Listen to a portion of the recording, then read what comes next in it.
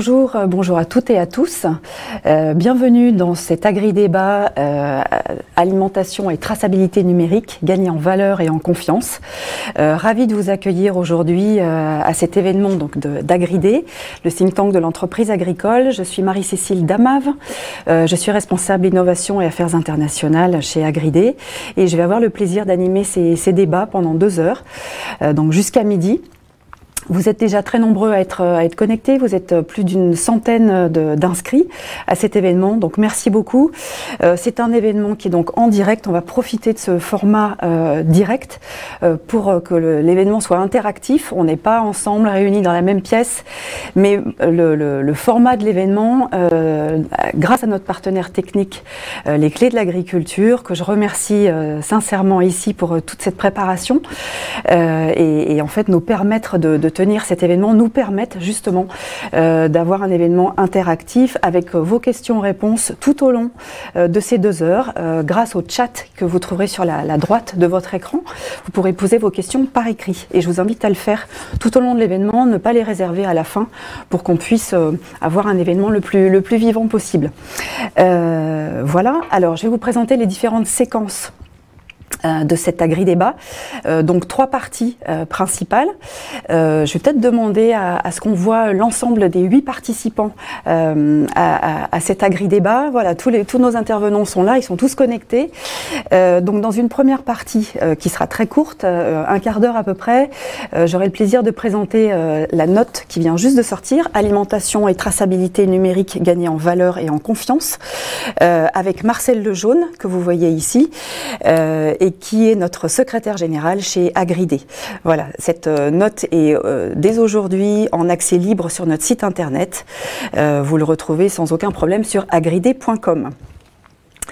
Euh, ensuite, deuxième séquence, euh, nous aurons euh, trois intervenants avec euh, la présentation de deux cas particuliers qui nous ont semblé très importants à, à mettre en avant parce qu'ils représentent vraiment ces nouvelles démarches innovantes de traçabilité numérique avec euh, Stefano Volpi euh, pour Connecting Food, avec Frédéric Voll et puis Carole Roca pour Bioline by InVivo qui nous présenteront le, le projet AgriProgress.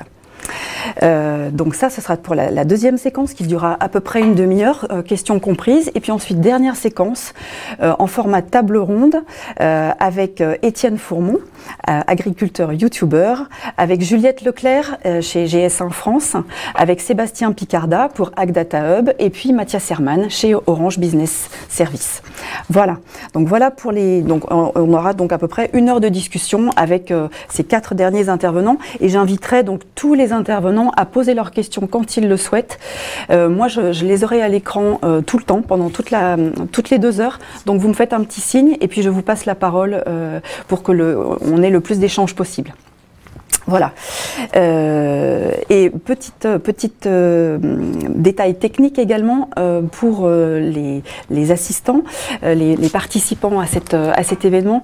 Euh, vous aurez en accès à la fin des, de ces deux heures de discussion la liste des participants, donc je vous l'ai dit 100, 110 inscrits à peu près, qui sera disponible sur l'onglet Materials sur, votre, sur votre écran. Voilà. Euh, donc, euh, sans plus attendre, euh, je vais donner la parole à Marcel Lejaune, qui va, qui va nous, nous, nous présenter chez nous Agridé, think tank de l'entreprise agricole. Marcel, c'est à toi. Bonjour, bienvenue à toutes et à tous. je suis non seulement secrétaire général d'Agridé, mais je suis aussi chef d'entreprise agricole dans les Hauts-de-France, en grande culture et en légumes industriels. Agridé, c'est le think tank de l'entreprise agricole c'est un laboratoire d'idées pour le secteur agricole, agroalimentaire et agro-industriel. C'est une structure apolitique et indépendante portée par des valeurs d'humanisme et de progrès. Nous organisons, nous des événements et mettons en place des groupes de travail destinés à produire et diffuser des idées, propositions et questionnements pour accompagner les évolutions indispensables des filières agricoles. La note que, nous, nous vous présentons aujourd'hui est issue de la réflexion d'un groupe de travail d'une soixantaine de membres. Ils se sont réunis à 11 reprises de décembre 2018 à juin 2020. Ce groupe s'intitulait Quels outils numériques de traçabilité dans la chaîne de valeur agricole et alimentaire? Nous remercions vivement les participants à ce groupe qui nous ont permis d'avancer dans nos réflexions, nos analyses et nos propositions. Nous nous sommes emparés de ce sujet comme une suite logique d'un premier groupe de travail sur le numérique qui s'est réuni de 2014 à 2017. Big Data, quels usages pour l'agriculture d'aujourd'hui et de demain? Dont les réflexions ont abouti une note Paris en 2017, tous acteurs de la transition numérique agricole, qui est aujourd'hui toujours en accès libre sur notre site internet www.agride.com. La note que nous vous présentons ce matin est intitulée Alimentation et traçabilité numérique, gagner en valeur et en confiance. Elle est donc le résultat d'un travail de longue haleine et de multiples consultations. Elle sera en accès libre à partir d'aujourd'hui sur notre site internet et nous pourrons aussi vous la faire parvenir sur demande en format papier. Marie-Cécile, je te laisse la parole. Oui, alors, est-ce qu'on peut faire apparaître à l'écran la couverture de cette note pour, euh, l'illustrer? Ok. Bon, voilà. très bien, super. Euh, ok, donc euh, une petite synthèse en fait de, des, analyses que vous retrouverez euh, dans, cette note. Ça n'a pas été simple évidemment de, synthétiser la, la masse d'informations recueillies et les, témoignages en fait recueillis de, des différents outils qui sont aujourd'hui en construction. Et on a fait une, essayé de faire une espèce de cartographie des acteurs qui aujourd'hui s'impliquent dans ces démarches de, traçabilité numérique en fait, le, monde de l'agriculture numérique est toujours en construction aujourd'hui. Il est vivant, il est, euh, il est évolutif, il est dynamique et il devient de plus en plus concurrentiel. C'est ça qui est vraiment intéressant de voir cette évolution depuis les, les 5-6 dernières années. Euh, les, choses évoluent, les acteurs euh, se positionnent les uns par rapport aux autres et finalement des écosystèmes d'acteurs se, mettent en place au service bah, d'une agriculture plus moderne, plus performante. alors, dans cette note, on est parti d'un constat le constat que euh, à partir du moment où il y a cette demande euh, des consommateurs euh, d'être mieux informés sur leur alimentation, le constat que finalement l'agro-industrie euh, et la grande distribution, la distribution d'une manière générale, cherchent à rassurer le consommateur, à l'informer davantage sur d'où vient et comment a été produit l'alimentation, euh, les, les, produits alimentaires qui lui sont offerts. et puis d'un autre côté, du côté de l'agriculteur, il y a un besoin de revenus euh, il y a évidemment un, besoin de, confiance et, de, retrouver sa place en fait euh, dans la société, au milieu de ses concitoyens, euh, avec un certain nombre d'accusations dont il est parfois victime, finalement, la traçabilité s'impose. Euh, pour répondre à ces différents enjeux euh, du, producteur au consommateur ou du consommateur au, producteur. Euh, et, ce qui est intéressant, c'est que si la traçabilité, c'est pas quelque chose de nouveau, qui existe, il y a déjà un certain nombre de cahiers des charges qui existent aujourd'hui.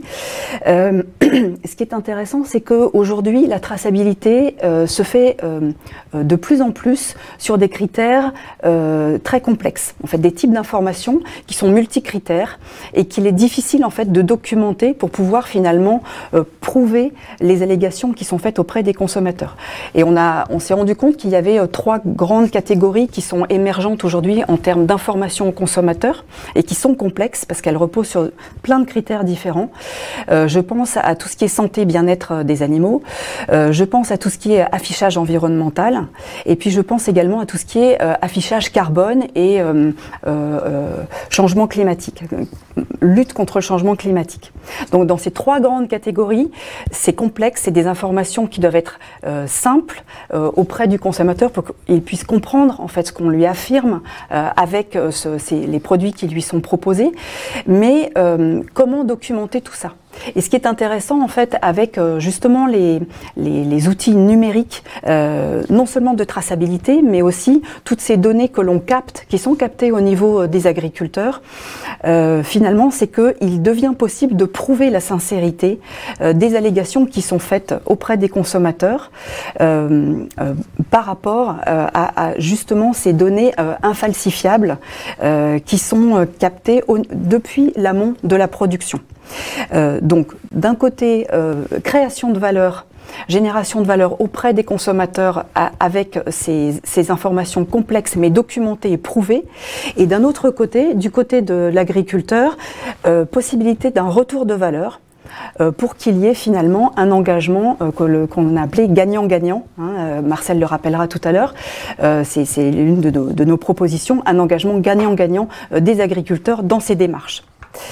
Alors, euh, comme je le disais, donc on constate un certain nombre de, nouveaux écosystèmes d'acteurs pour monter ces, nouveaux réseaux finalement de, traçabilité numérique, euh, avec des, acteurs, on va dire classiques, euh, par exemple, euh, évidemment, les, les, les, industriels de la transformation agroalimentaire, euh, de la production, de la distribution, également des entreprises spécialistes de la traçabilité qui renouvellent finalement leur, leur, système, et puis aussi de nouvelles, de nouvelles entreprises, de nouvelles organisations avec des techniques modernes de traçabilité, et puis également des géants du numérique et des technologies de l'information, des télécoms, et des entreprises spécialistes dans la captation et le traitement des données.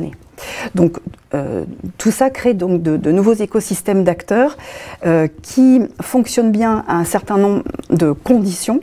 Et en fait, on, a identifié deux conditions vraiment essentielles pour que ces, écosystèmes fonctionnent bien. C'est que finalement, les, données brutes qui sont captées au niveau euh, des agriculteurs doivent être de bonne qualité. Les systèmes doivent être interopérables pour que ces différents acteurs puissent bien communiquer entre eux. Euh, et puis, donc, la, gestion des données, l'éthique des données sont des valeurs qui sont euh, très importantes et au cœur de, ces sujets. Euh, donc là, je, pense que nos différents intervenants interviendront sur, ce, sur ces sujets de la, valeur de la donnée brute, sa captation, son partage, sa valorisation. donc tout ça, ce sont des enjeux qui sont au, cœur de, nos sujets. Et enfin, dernière chose, c'est le niveau européen, le niveau international et européen de toute façon. Euh, tous ces enjeux toutes ces demandes euh, des consommateurs, de la société, des entreprises, des agriculteurs, ils ne sont pas que français. Euh, évidemment, ils sont, ils sont européens et donc la France joue un rôle particulier au niveau européen en termes de producteurs agricoles et producteurs agroalimentaires et exportateurs clés, joue un rôle structurant et, doit jouer ce rôle structurant de plus en plus pour construire l'Europe des données agricoles. Voilà, donc je repasse la, parole à Marcel euh, pour euh, la, formulation des, trois grandes propositions de cette note, euh, avec un, s'il est possible, pour, pour l'illustrer, les, trois grandes propositions face à lui. Voilà, merci. Donc merci Marie-Cécile.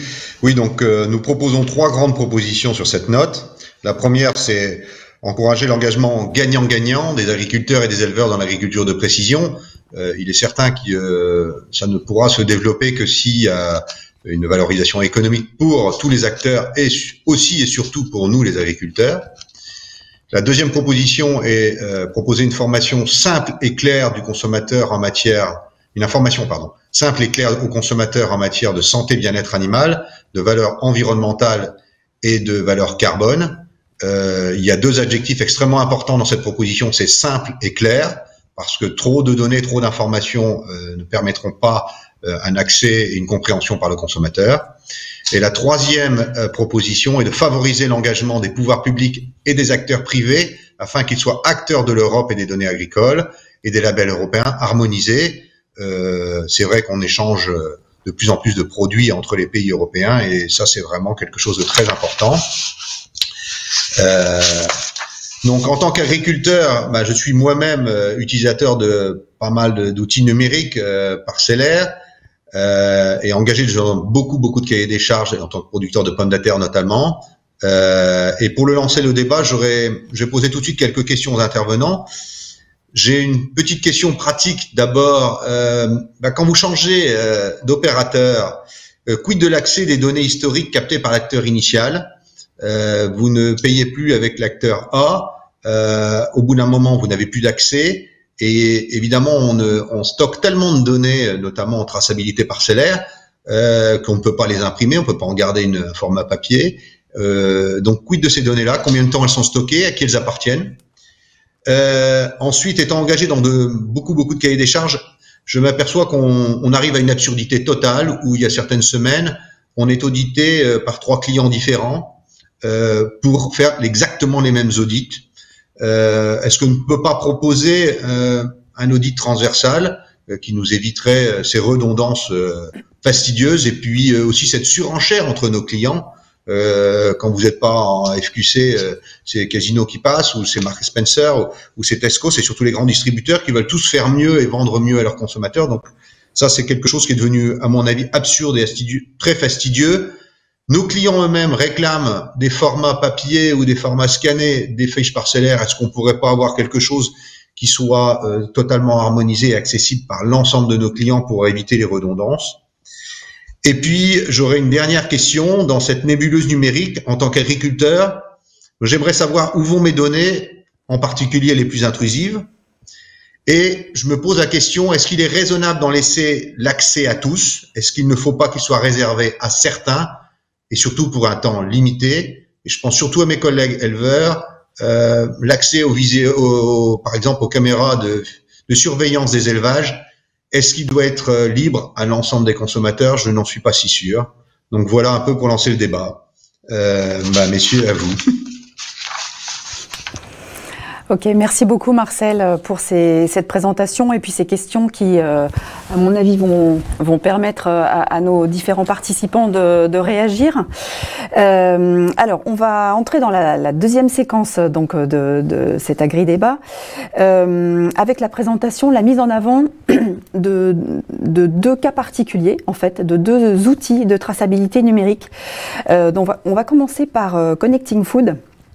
Euh, qui, euh, qui a été créé, je crois, en 2016. Hein, c'est une entreprise qu'on commence à, à, à, bien connaître maintenant. Euh, et qu'on a vu évoluer. Euh, je, je, crois que vous avez pas mal grandi. Hein. Maintenant, vous êtes une trentaine de personnes hein, dans votre euh, dans votre société, Stéphano. Euh, donc vous, vous êtes cofondateur de Connecting Food, et j'ai l'impression que hum, ces, ces, différents enjeux de reconnecter finalement les différents maillons de la chaîne, d'où le nom de, de, votre société, c'était vraiment au cœur de, de, la création, de votre volonté au départ, lorsque vous avez cofondé cette cette société. les différents maillons hein, du, producteur au consommateur, du, consommateur au producteur. Euh, l'idée, c'était de, pouvoir euh, euh, retracer, en fait, recréer de la, traçabilité et de la confiance entre les, différents acteurs. Expliquez-nous tout ça, la, genèse de, cette société et puis où est-ce que vous en êtes aujourd'hui? Oui, Absolument. Donc Connecting Food a été fondé en 2016. J'ai une petite présentation, donc après je vais l'afficher. Euh, été créé en 2016, donc par moi-même et euh, Maxine Roper. Donc tous les deux, on vient de l'alimentaire. On a plus de 20 ans dans l'agroalimentaire euh, d'expérience, à la fois dans l'amont et dans l'aval. Et euh, on a vu que si l'alimentation n'a jamais été aussi sûre, aussi contrôlée, aussi travaillée, le consommateur n'a jamais été aussi défiant euh, envers son alimentation. Donc, on s'est dit, il y a un point important à résoudre. Euh, L'autre constat qu'on a fait, c'est que chaque acteur, chaque niveau de la filière est important pour le résultat final. Donc, on s'est dit, il faut reconnecter tous euh, tous ces maillons entre eux, d'où le nom euh, de l'entreprise. Mais la deuxième raison pour l'appeler Connecting Food, c'est aussi le côté digital, la connexion digitale, parce qu'on s'est dit, si on refait les choses qu'on faisait avant, euh, avec l'intervention humaine partout, ça ne marche pas. Donc, il faut utiliser cette data qui existe tout au long de la filière pour l'exploiter, pour la rendre euh, une richesse qui crée à la fois de la transparence de la richesse pour le consommateur, mais aussi pour chaque acteur tout au long de la filière. Euh, voilà, donc c'est basé sur ce constat que euh, nous avons créé Connecting Food, en particulier notre solution de base, notre solution centrale, euh, sur le slide suivant, on verra, c'est une plateforme clé en main destinée aux acteurs de l'alimentaire. Donc, on est des spécialistes de l'alimentaire, on connaît ça parfaitement, on sait qu'on est sur des marchés à fort volume et à faible marge, donc il faut apporter des solutions qui soient efficaces, qui puissent gérer des gros volumes et qui ne coûtent pas cher pour les acteurs à l'utilisation, ce qui fait que nous avons beaucoup investi dans ce que nous appelons notre usine digitale. Et, ce que nous proposons, le maillon central, je dirais la colonne vertébrale de notre solution, c'est une solution basée sur de la traçabilité un temps réel, je dis bien un temps réel, le suivi du produit, l'eau par l'eau, tout au long de la filière, un temps réel, et pas une fois que le produit arrive à la fin, accompagné par de l'audit digital. Et ça, ça répond à une première question de Marcel tout à l'heure, qui est de dire, voilà, moi j'ai un audit digital de mon produit au fur et à mesure qu'il avance, donc je peux partager ces informations avec différents clients parce que c'est mon produit qui est audité et c'est pas chaque client qui vient m'auditer. Donc déjà ça c'est un point très important parce que dans des produits dont la qualité compte, on n'est pas sur du Bitcoin dans lequel bah, c'est la quantité qui compte, mais c'est la qualité qui compte. Un audit digital permanent, le par lot en temps réel, est fondamental pour éviter que la mauvaise information soit transférée tout au long de la filière. Nous utilisons aussi la blockchain, euh, qui est un élément important de notre euh, solution, parce que représente, je dirais, une super autoroute de la donnée qui permet de la transférer à faible coût euh, rapidement entre les acteurs, tout en préservant, et ça, ça répond à une autre question de tout à l'heure, la propriété de la donnée, parce que je sais qui est propriétaire, qui l'utilise, et avec un système de blockchain, je ne peux pas copier la donnée euh, et l'utiliser autant que je veux. Je dois reconnaître sa propriété. Euh, voilà. Donc ça c'est important et pour nos clients qui sont des acteurs à la fois de l'amont, de l'aval, de la distribution, il y a la possibilité de démontrer la transparence et la qualité des produits en B2B, donc entre acteurs de la filière ou au consommateur final. Donc euh, on a dit l'objectif n'est pas d'être sur une petite niche, euh, sur, des petits producteurs, mais c'est de travailler sur l'ensemble de la filière avec des acteurs de différentes tailles à différents niveaux. Donc, on est sur plusieurs filières dans plusieurs pays, en France, aux États-Unis, en Italie, en Allemagne, bientôt au Royaume-Uni, en Espagne, euh, avec des dans différentes filières, la viande, les céréales, le lait, etc. Mais avec des acteurs de tailles différentes. On va de euh, Mondelez, General Mills, euh, des grands distributeurs, à Juste 21, qui est une ensemble, une association de producteurs de Vendée. Donc, on est capable, parce qu'on a une solution modulable, de répondre aux besoins des différentes tailles et des différentes exigences des acteurs, parce que si on ne met pas tout le monde ensemble, on n'obtiendra pas le euh, résultat final de transparence et de garantie pour le consommateur, des créations de valeur additionnelle. Donc, notre solution, comme on le voit sur le slide suivant, est basée sur deux principes. Bon, c'est dessiné comme un iceberg, mais c'est important cette image de l'iceberg. C'est il y a une partie cachée qui est toute la partie, je dirais, B2B, la partie de gestion, des outils de gestion, de traitement de la data. Donc, on collecte de la data, on la structure, on la transforme pas, mais la standardise. Donc, on fait, nous, le rôle de standardisation. On ne demande pas au monde de l'alimentaire de s'adapter à nos standards, mais c'est nous qui standardisons la donnée pour la rendre exploitable. Euh, donc des données qui peuvent être des données des RSE, données agricoles, données de supply chain, etc. Et il y a des, ce qu'on appelle des modules intelligents de gestion, qui peuvent être l'équivalent des ERP des filières, des outils pour les agriculteurs, des gestions de différents cahiers des charges. Donc tout ça, ça apporte une énorme efficience, parce que ça c'est le point fondamental. Il faut pouvoir faire aussi bien, voire mieux, à des à des coûts inférieurs. Et deuxième étape, d'améliorer fortement euh, les solutions. Donc, une gestion unique de cahier des charges, une gestion globale de tous les, clients qui viennent demander des informations, le, transfert de l'information de façon simple, standardisée euh, entre différents acteurs euh, de la filière. Et au final, une solution pour le consommateur assez standard, hein, c'est une web app donc, il n'y a rien à télécharger, mais c'est une web app basée sur un QR code. Et là, il n'y a que des informations spécifiques et synthétiques qui sont fournies aux consommateurs. Donc, on l'abreuve pas d'informations. on ne donne pas tout. On donne ce qui intéresse le consommateur. Parce qu'au final, ce que nous voulons faire, c'est de passer d'un marketing de la promesse générique à un marketing de la promesse prouvée. Et donc, toutes ces données sont fondamentales pour prouver au consommateur final que les euh, produits maintiennent leurs promesses. Et donc, vous verrez sur le slide suivant euh, que notre ambition, c'est que tous les produits agroalimentaires demain puissent apporter la preuve de leur engagement. Et c'est là où les différents critères éventuellement qu'il peut y avoir euh, sur les différents labels, etc., bah, s'ils ne sont pas prouvés l'eau par l'eau, euh, voilà, sont, ne suffisent pas. Et donc, tout l'effort fait par chaque acteur de la filière, de différenciation, d'amélioration de la qualité, etc., peuvent être mises en avant auprès du consommateur final. Quelque part, on augmente le produit physique de toute la data qu'on crée, qu'on génère et qu'on certifie et qu'on audite en temps réel. Et donc, on crée de la valeur additionnelle par rapport aux produits physiques. Donc, quelque part, c'est des produits augmentés via des packaging augmentés grâce à la solution, euh, l'utilisation de la web app. Voilà. Donc, ça, c'est une grande synthèse Connecting Food de la transparence, de la traçabilité en temps réel, de la valorisation de la data existante, du respect de la propriété de cette data et donc de la création de valeur additionnelle pour toute la filière avec une meilleure répartition entre l'amont et l'aval. Merci beaucoup Stéphano. Il y a beaucoup de choses qui ont été dites. Euh, donc le marketing de la preuve, hein, c'est peut-être l'expression que je retiens. Euh, on passe du marketing de la promesse au, marketing de la preuve. Ça, je pense que c'est probablement des, valeurs qui vont résonner euh, avec nos, autres intervenants et, en particulier avec AgriProgress hein, qui va nous être présenté là dans quelques minutes. Marcel, est-ce que ce que Stéphano vient de présenter sur le, les, les, les audits, les audits numériques c'est quelque chose qui euh, pourrait répondre à, tes soucis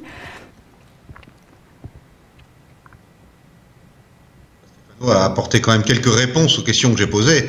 Et c'est vrai que euh, la non-falsification et le fait que ça soit en instantané euh, me plaît énormément. mais il, défend aussi la, la, propriété de ces données et où ont-elles allé? Ça, c'est très intéressant. Je trouve que c'est l'approche par Stéphano euh, de Connecting Food est tout à fait intéressante pour euh, sécuriser nous les producteurs et euh, essayer de valoriser nos produits au mieux. Et j'ai bien aimé aussi cette présentation transversale de l'ensemble des labels existants aujourd'hui, qui pourraient être sécurisés beaucoup plus par ce par ce Connecting Food. Je trouve, dont j'ai trouvé une approche très très intéressante. Merci. Ok. Euh, ouais, donc euh, produit augmenté, finalement le produit augmenté avec tout ce qui est euh, toute la, toute la, le, support de traçabilité qu'il entraîne avec lui finalement. La traçabilité augmentée, je crois que c'est un terme qui, euh, qui vous est cher aussi. Frédéric Voll et, et, Carole Roca, vous êtes tous les deux ici, vous allez présenter en binôme euh, le, projet Agri Progress.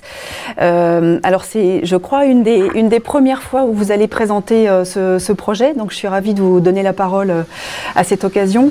moi j'ai découvert Agri Progress à l'occasion d'un, d'un In Vivo Quest du, mois de janvier dernier, et j'ai trouvé que les, le, votre démarche, en fait, qui va finalement de, de l'agriculteur jusqu'à la distribution et jusqu'au consommateur, qui me semble est également fondé sur euh, cette, euh, ce concept de traçabilité augmentée. Euh, ça m'a semblé tout à fait au cœur des, enjeux qu'on a, qu'on a envie de discuter aujourd'hui dans cet agri-débat. donc je vais vous laisser la parole pour une, présentation à deux voix, en commençant par, par Carole. Oui, tout à fait. Vous m'entendez bien? Oui, tout va bien. Oui, super. Parfait. Euh, oui, alors, euh, ben, en fait, AgriProgress, il, il, il s'inscrit tout à fait dans la logique euh, qu'on a abordée jusqu'à maintenant. Et finalement, ce qui est intéressant, c'est qu'on va avoir une approche assez complémentaire Stefano. Finalement, si on si on considère Connecting Food un peu plus spécialisé sur spécialiste de l'agroalimentaire, ben, disons que AgriProgress, qui a été conçu avec les coopératives et les agriculteurs du réseau, et euh, spécialiste de l'amont, on va dire ça comme ça. Donc euh, il y a une vraie complémentarité à mon avis, enfin j'espère que vous la détecterez. Euh, bon, l'idée c'est effectivement, on a sorti nos premiers, ça y est, l'outil tourne aujourd'hui, mais c'est vrai que c'est un outil qui a été co-conçu avec l'ensemble des acteurs de la filière. On peut passer à la diapo suivante si vous le souhaitez. L'objectif, c'était vraiment ça, c'était de s'inscrire sur pourquoi aujourd'hui, comment ça se fait qu'aujourd'hui on arrive euh, enfin voilà, on est nombreux à travailler euh, sur ce sujet-là depuis plusieurs années. Comment ça se fait qu'on a autant de mal euh, à franchir les écueils de, de la digitalisation, en particulier des filières? Euh, donc euh, euh, voilà, on a construit ce projet-là en fédérant des coopératives de l'Union In Vivo, des agriculteurs qui ont participé. vous allez, j'espère, percevoir de quelle façon à la conception de cet outil, jusqu'à évidemment les, les, acteurs de l'aval, c'est-à-dire à la fois des agro-industriels qui se sont prêtés à cette expérience sur effectivement la définition du suivi de leur de leur cahier des charges et, j'espère que j'apporterai euh, quelques éléments euh, sur ce sujet-là. On les a voulu justement différents, euh, c'est-à-dire ayant volonté de choisir et de suivre des indicateurs différents. Et puis l'écho aussi des demandes des consommateurs pour orienter sur les choix futurs. En fait, cette démarche euh, AgriProgress, elle été conçue dans, le cadre d'un programme qui s'appelle le programme euh, Ferme Leader, qui est un réseau d'agriculteurs et de coopératives qui euh, fait en sorte d'assumer cette transition agricole en utilisant le digital comme un des leviers efficaces pour le faire. Donc, dans ce projet Ferme Leader, programme maintenant, c'est plus un projet, c'est un programme, on a trois piliers. Euh, le premier pilier est de travailler euh, tous les outils de suivi euh, d'intervention parcellaire, ce qu'on appelle classiquement l'ACTEC, où on, teste en situation. Hein, c'est pas de l'expérimentation, c'est vraiment de la mise en situation d'innovation pour vérifier qu'elle répond bien aux besoins des agriculteurs ou des coopératives. Euh, deuxième enjeu qui est vraiment plus sur l'approche euh, agro-environnementale ou euh, comment les données aujourd'hui peuvent donner plus de dynamisme, de réactivité et d'objectivité sur le suivi de ces enjeux-là, avec un projet chez nous qui est un peu emblématique puisqu'il s'agit du projet Apitech où on s'appuie sur des ruches connectées pour alimenter la réflexion sur les pollinisateurs. Et puis du coup, effectivement, comment le digital va permettre de revoir euh, donner de nouveaux arguments et de revoir la, la position de l'agriculteur dans la chaîne de valeur de l'agroalimentaire. Et donc, effectivement, c'est dans ce cadre-là que s'inscrit euh, AgriProgress. Alors, euh, effectivement, euh, ça y est, il est sorti du four, AgriProgress. Donc, c'est peut-être un, un, je voulais vous proposer plutôt que de rentrer dans des interfaces, de, un petit film de synthèse? Vous avez la gentillesse de le lancer d'une minute que je commenterai du coup en même temps. Donc, cette organisation circulaire, elle a effectivement vocation euh, à, organiser l'ensemble des acteurs de la filière pour définir euh, ce tronc commun. Est-ce que ça, va fonctionner? Ouais. Donc c'est rapprocher les acteurs de la filière. Le gros atout qu'on a, c'est effectivement de pouvoir euh, s'articuler sur les systèmes de FMS, c'est-à-dire de, données agricoles, de pouvoir suivre en direct les résultats des agriculteurs, donc là on voit des, résultats GES et HVE, et de partager l'ensemble de ces, informations auprès des différents acteurs. C'est si vous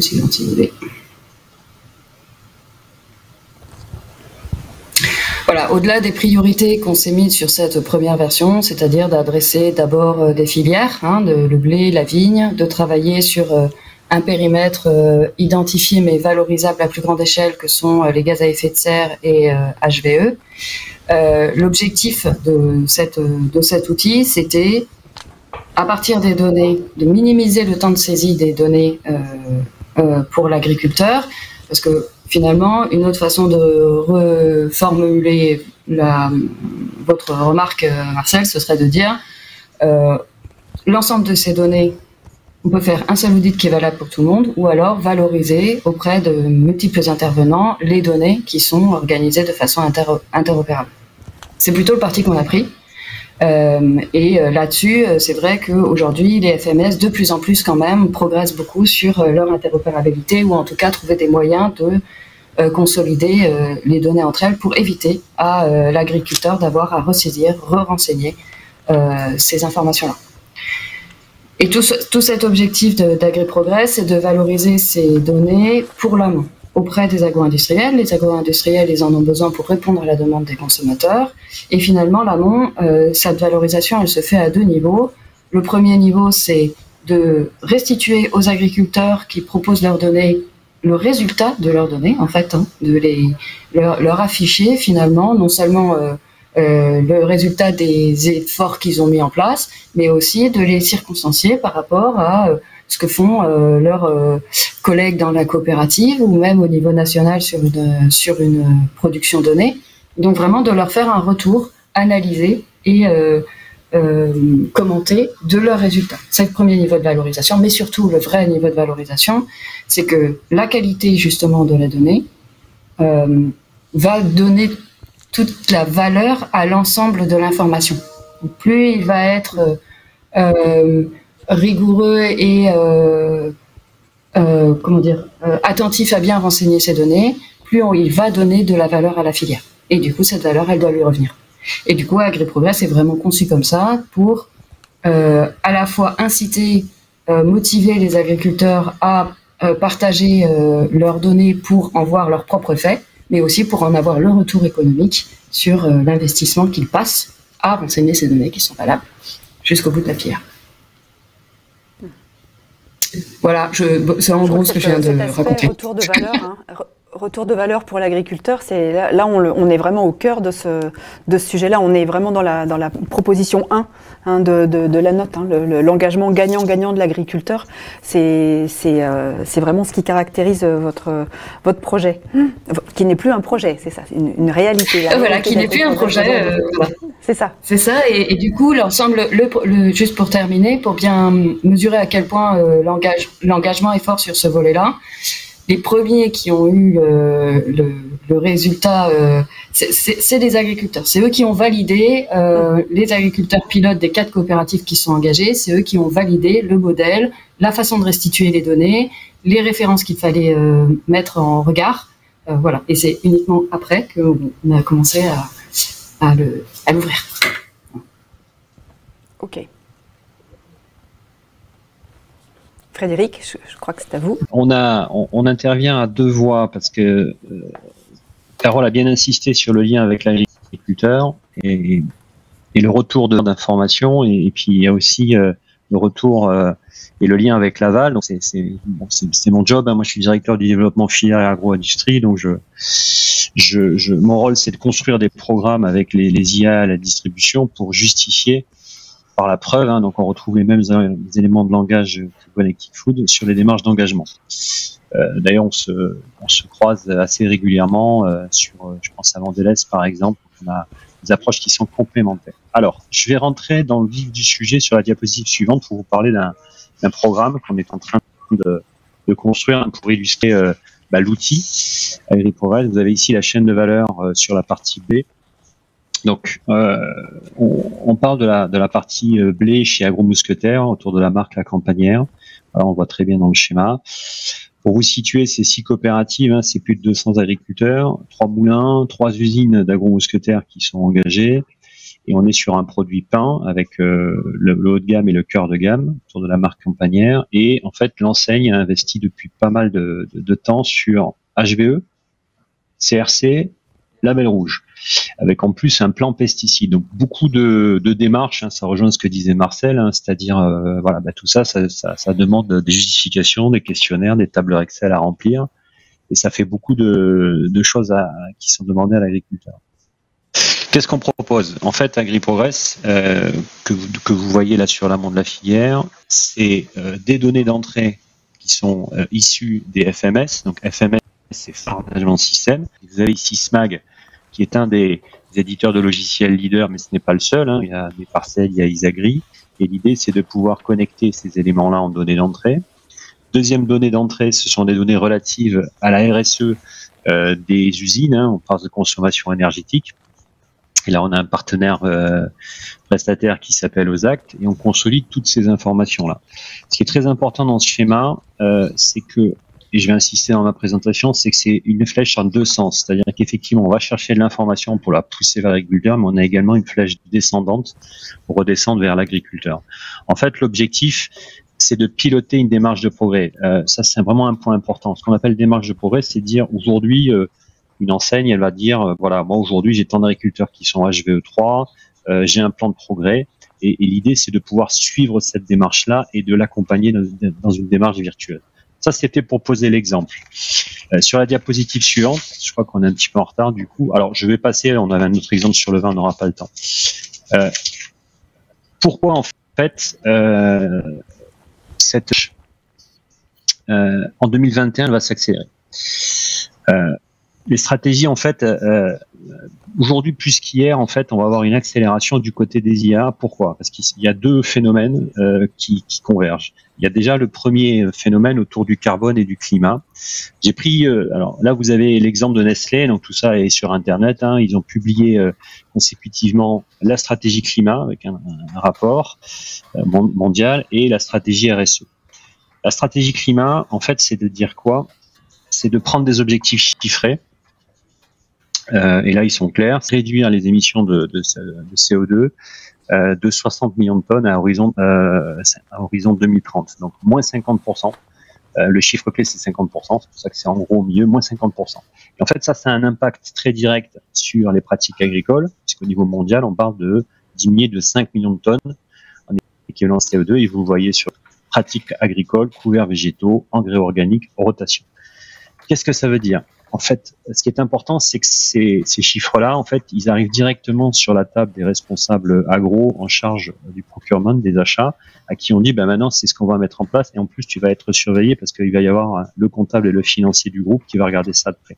Donc, il y a un très fort enjeu ce qui fait que ça dépasse le cadre finalement de, des achats, hein. ça devient un sujet de direction générale et les stratégies climat impactent et accélèrent les sujets dont on parle sur la transition agricole. ça, c'est la stratégie climat avec l'indicateur carbone qui est très impactant, très mesuré, euh, euh, notamment par les financiers.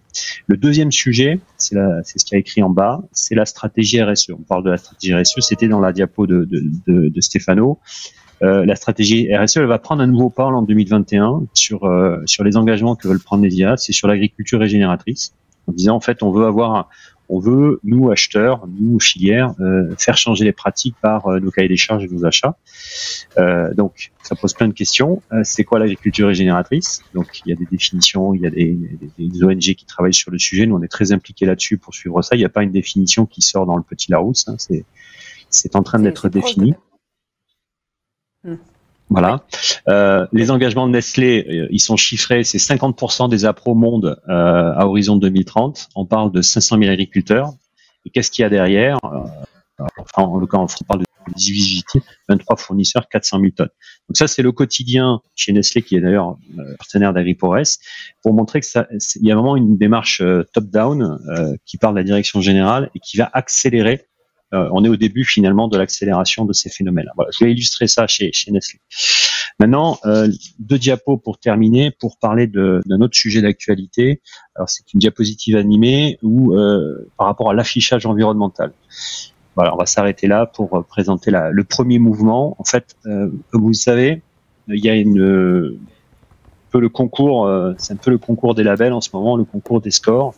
Tout le monde veut parler euh, écologie, environnement environnement au niveau des lecteurs. Si on est factuel par rapport à ces éléments-là, il y a déjà un cadre réglementaire, puisqu'il y a la loi AGEC qui porte l'affichage environnemental avec une expérimentation de l'ADEME.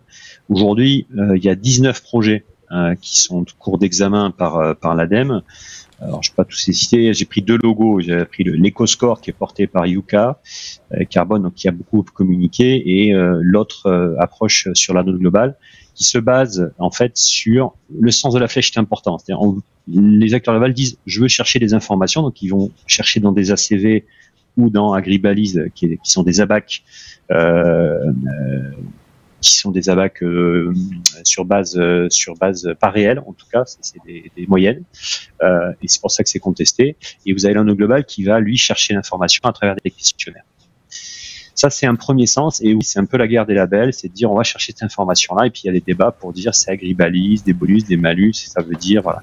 Euh, ce qui est important, c'est le deuxième euh, mouvement euh, qui est dans la slide qui va s'animer. C'est qu'en parallèle de ça, voilà, ce, ce sur quoi on travaille, c'est un deuxième mouvement parallèle, c'est que les agriculteurs renseignent en fait tous les jours des données réelles sur leur exploitation. Donc ça, ils le font dans les FMS. Hein. On parlait de SMAG, on parlait de, des, autres FMS pour le suivi de leur exploitation et avec des cahiers des charges. HVE notamment est un est un élément important, accélérateur. Et puis demain, on parle d'un calculateur carbone. Qu'est-ce que ça veut dire? C'est-à-dire qu'en fait, le label bas carbone en France, mais il y a d'autres euh, standards au niveau mondial, l'agriculteur va être amené à aller chercher en fait une valorisation de son travail avec euh, de crédit carbone. C'est pas le sujet ici parce que c'est assez long, mais en fait, En termes de data, ça veut dire qu'il va renseigner des informations dans ces systèmes actuels. Donc on a un mouvement qui part de la droite vers la gauche où l'agriculteur en fait renseigne des informations en plus de ces, systèmes de pratiques euh, pour euh, pour aller chercher effectivement une valorisation à travers les crédits carbone. Donc d'où le sens de la flèche. La dernière diapo en fait et ça rejoint le positionnement d'AgriProgress, euh, c'est de dire en fait nous par rapport à ces deux mouvements euh, nous, la vision qu'on a, c'est d'avoir une chaîne d'information qui va de l'agriculteur et vers le consommateur. Ce que disait Marcel était important euh, et même fondamental, c'est-à-dire qu'à un moment donné, il ne faut pas empiler euh, les systèmes et les, et, les, mécaniques parce que ça rajoute du travail énorme à l'agriculteur et ça rajoute de la confusion au niveau du consommateur. Nous, on se positionne comme un architecte en, de l'information en amont des systèmes de scoring et euh, des systèmes de, de, blockchain, par exemple. Donc, architecteur, architectureur ou architecte de l'information, ça veut dire effectivement s'appuyer sur les informations, s'assurer euh, de la partie sécurité, consentement et, et on est associé avec Orange euh, dans, et je crois que vous allez en parler après sur la gestion du consentement. Donc c'est des choses qui sont euh, très sérieuses et très euh, et traitées en tout cas euh, de manière forte en amont des, des, outils de scoring. On a deux points de vigilance importants euh, dans ce rôle d'architecte de, on va de, de l'information. Frédéric, s'il vous plaît, parce que oui. le, le, temps, le temps tourne. Le temps court. D'abord la science, ouais. parce que euh, on va avoir des preuves et euh, nous sommes impliqués à travers AgroSolutions euh, en tant que co-rédacteur du label bas carbone. Donc c'est la robustesse des équations du travail avec des experts pour ne pas raconter n'importe quoi au niveau du consommateur. Deuxième, c'est la raison, c'est la praticité, c'est le caractère opérationnel, ne pas ressaisir des données, s'appuyer sur des choses existantes, faciliter de la l'agriculteur et lui faire un juste retour à la fois en termes de rémunération et lui donner un environnement de travail qui fasse que ça lui rajoute pas à ses journées. Voilà, j'ai été un peu long, désolé. Le bug okay. technique ne nous a pas aidé non, à gagner non, le retard. Merci beaucoup, Frédéric. Merci, Frédéric. Il n'y a, a, pas de souci. C'était important, je pense, qu'on qu mette vraiment en avant ce, ce maillon euh, agro-industrie, euh, le, les entreprises de l'agroalimentaire, euh, comment elles se positionnent par rapport à ces, à ces enjeux. C'est important de faire un, un, focus sur elles, évidemment, notamment avec les, leurs engagements RSE qui, on l'a vu, explosent. Hein, vous l'avez très bien illustré aujourd'hui. Et comment ces, ces outils de, de, traçabilité augmentée nourrissent finalement euh, ces, nouveaux engagements. J'ai plusieurs euh, questions pour vous. Excusez-moi, j'avais un petit problème technique, je n'avais pas accès aux questions, mais ça y est, tout est revenu en ordre. Euh, donc plusieurs questions pour, par rapport à AgriProgress. Quels sont les exemples de données que l'agriculteur pourra partager avec le consommateur final pour valoriser son travail? Concrètement, comment se fait le retour économique pour les producteurs? Et avez-vous déjà des exemples de réelle création de valeur, augmentation du prix de vente, etc., etc., sur la base de ce marketing de la preuve? Donc ça, c'est plutôt une question pour euh, Stéphano, je pense.